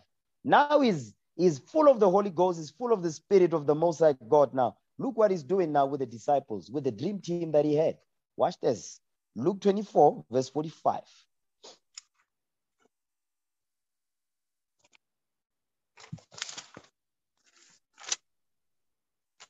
The book Come of on. Luke, chapter 24, verses 45. Then Come on. open he their understanding, that they might understand the scriptures. You see what he did to the disciples? He says, Then open he their understanding that they might understand the scriptures. Meaning, the Holy Ghost gave them the spirit of understanding that he breathed on them. You understand that? He breathed on them the understanding of the scriptures and they understood the scriptures. Only the Lord can do that thing. The Spirit, the Most High God, is the one that gives the okay for you to understand. The Lord, the Most High God, is the one that gives the okay to come into this truth. That's what the Lord does. If the mo- if the High does not give consent, you will not come into this truth. And if you do, you also have a purpose to be that heretic, to be that wicked Negro, so we can use you as an example of what not to do. The sisters as well. You understand? Watch this. Get John 20, verse 22. John 20, verse 22.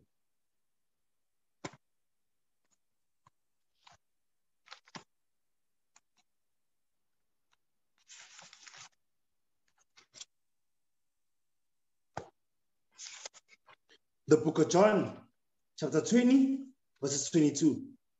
Go ahead. And when he had and when he had said this, he breathed on them and said unto them, Receive ye the Holy Ghost. You see that thing? He breathed on them and said unto them, Receive ye the Holy Ghost, the understanding, the power also, because they had power.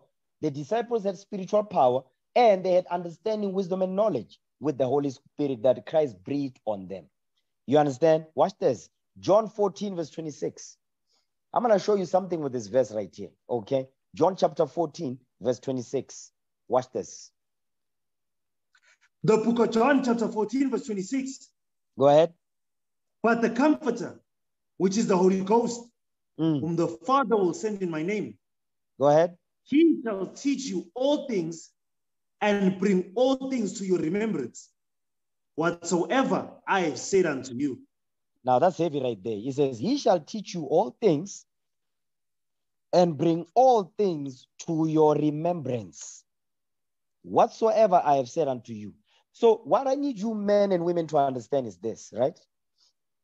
The Comforter is the Holy Ghost. Okay, we've been going over that, whom the Father will send in my name, because only the Most High God is the one that sent the Holy Spirit in the name of our Lord and Savior Jesus Christ, the Black Messiah. It says, and he, the Holy Ghost, the Comforter, shall teach you all things, meaning the Spirit of the Lord is going to teach you all things and bring all things to your remembrance, whatsoever I have said unto you. Now, I'm going to show you something with this, right? Get the book of Deuteronomy 32, verse 7. He says, The Comforter will bring all things to your remembrance. I'm going to give you some examples here. Deuteronomy 32, verse 7. Watch this. The book of Deuteronomy, chapter 32, verse 7. Go ahead. Remember the days of old. Mm. Consider the years of many generations. Ask thy father, and he will show thee. Thy elders, and they will tell thee. Now, you see that part right there? It says, Remember the days of old, right? Remember the days of old. Watch this. Give me the book of Genesis 2, verse 1. It says, Remember the days of old. It says, The Holy Ghost, the Comforter, which is the Holy Ghost, will bring all things to your remembrance. God says, Remember the days of old. Genesis 2, verse 1. Watch this. The book of Genesis, chapter 2, verse 1. Go ahead. Thus the heavens and the earth are finished, and all the host of them. Read. And on the seventh day, God ended his work which he had made, and he rested on the seventh day from all the work, all his work which he had made. Go ahead. And God blessed the seventh day and sanctified it, because that in it he had rested from all his work which God created and made. So now this is the Sabbath right here. The Lord is sanctifying and ordaining the Sabbath day on the seventh day, right? The Sabbath day is a day of old. Understand that? The Sabbath day is a day of old that God ordained when he finished all his work. You understand? The Sabbath day is a day of old, which the Holy Ghost, which is the comforter, will bring that to the, to the minds of our people, will bring that remembrance to the minds of our people. Because the reason why our people don't remember the Sabbath, you understand, is because the Holy Spirit has not jumped on them. You see that thing? The Spirit of the Lord has not jumped on our people. That's why they cannot remember the, the days of old. That's why the Holy they cannot, that nothing can be brought to their remembrance because they reject, they always resist the Holy Ghost. So nothing is brought to their remembrance. You understand that? Watch this. Get that in Exodus 20, verse 8.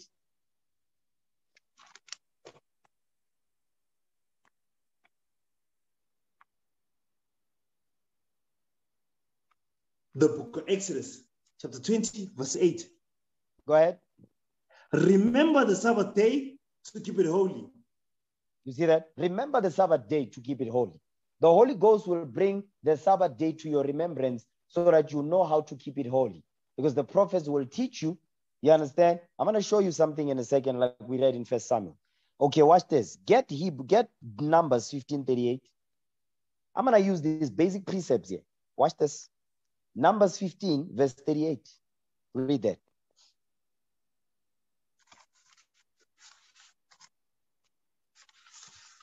The book of Numbers, chapter 15, verses 38. Go ahead. Speak unto the children of Israel and bid them that they make them fringes in the borders of their garments throughout their generations, Go ahead. and that they and that they put upon the fringe of the borders a ribbon of blue. So now this is the law regarding this is the law of the fringes, right? Go ahead. Verse 39. Come on. and shall be unto you for a fringe, that you may look upon it and remember all the commandments. And remember all the commandments of the Lord and do them.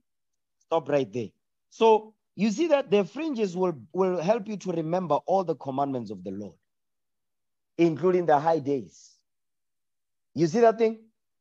So the Holy Spirit will bring all things to your remembrance, will bring the laws of God to your remembrance, will bring the, the identity to your remembrance, who you are, where you come from, who's your God, and how are you supposed to serve him. The Holy Spirit, which is the comforter, will bring all things to your remembrance. Why? Because is the reason why it says the comforter, the, the laws of God that has that is being brought to your remembrance, your identity that is being brought to your remembrance, that will gonna comfort you in your captivity. You'll understand why you are in the condition that you are in, and your mind will begin to do what? Your mind will begin to have peace because now you know the problem to your sickness. Now you begin to know where to go to be taught on how to fix and cure the sickness. That's a heavy thing. The reason why you see our people resisting the Holy Ghost, that's why nothing is brought to their remembrance and they will die in their sins if they don't repent. And our people always talk about the Holy Ghost, the Holy Spirit. They say, no, but you don't have the Holy Spirit. But they don't remember to wear pants, to wear dresses as a sister. The brother don't remember you must not you must not have a girlfriend. He don't remember that. He doesn't remember. Because the Holy Spirit is not on them. You see that thing? Yes, sir. That's what I want you men to understand. Watch this. Give me, go back to First Samuel, okay? Go back to First Samuel. I want to show you something with this. First Samuel chapter 10, right? First Samuel 10 and verse verse 9. Watch this.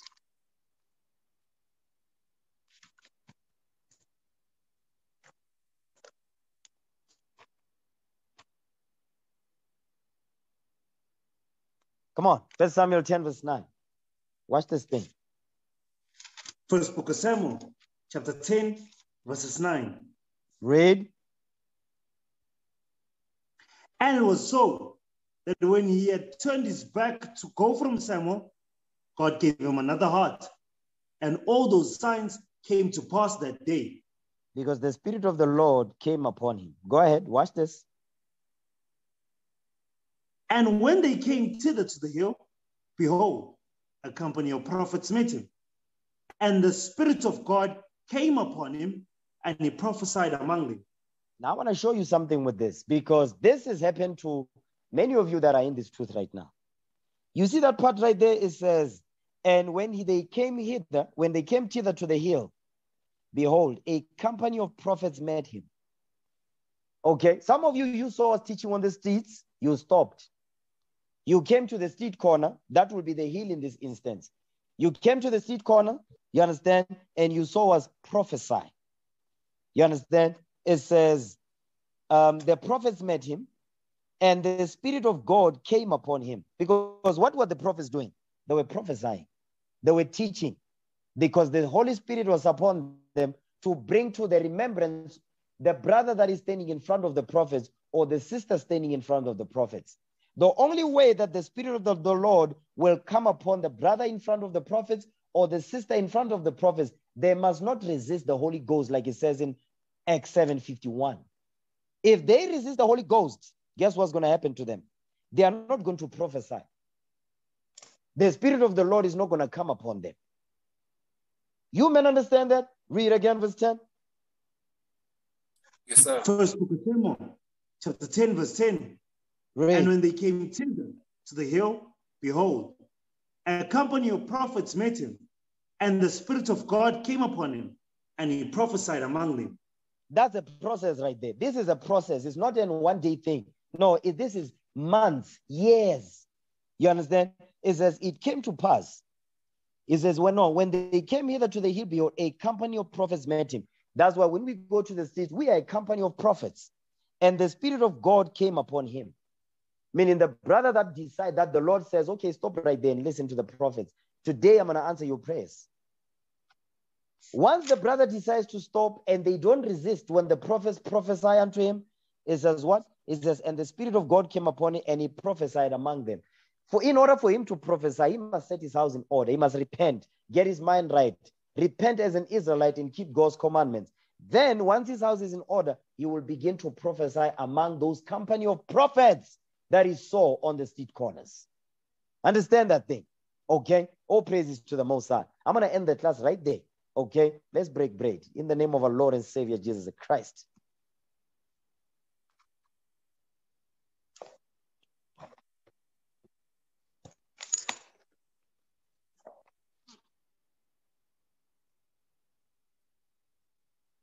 Come on. First, First Corinthians 11.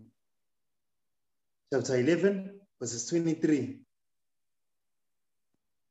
For I have received of the Lord that which also I delivered unto you, that the Lord Jesus, the same night in which he was betrayed, took bread.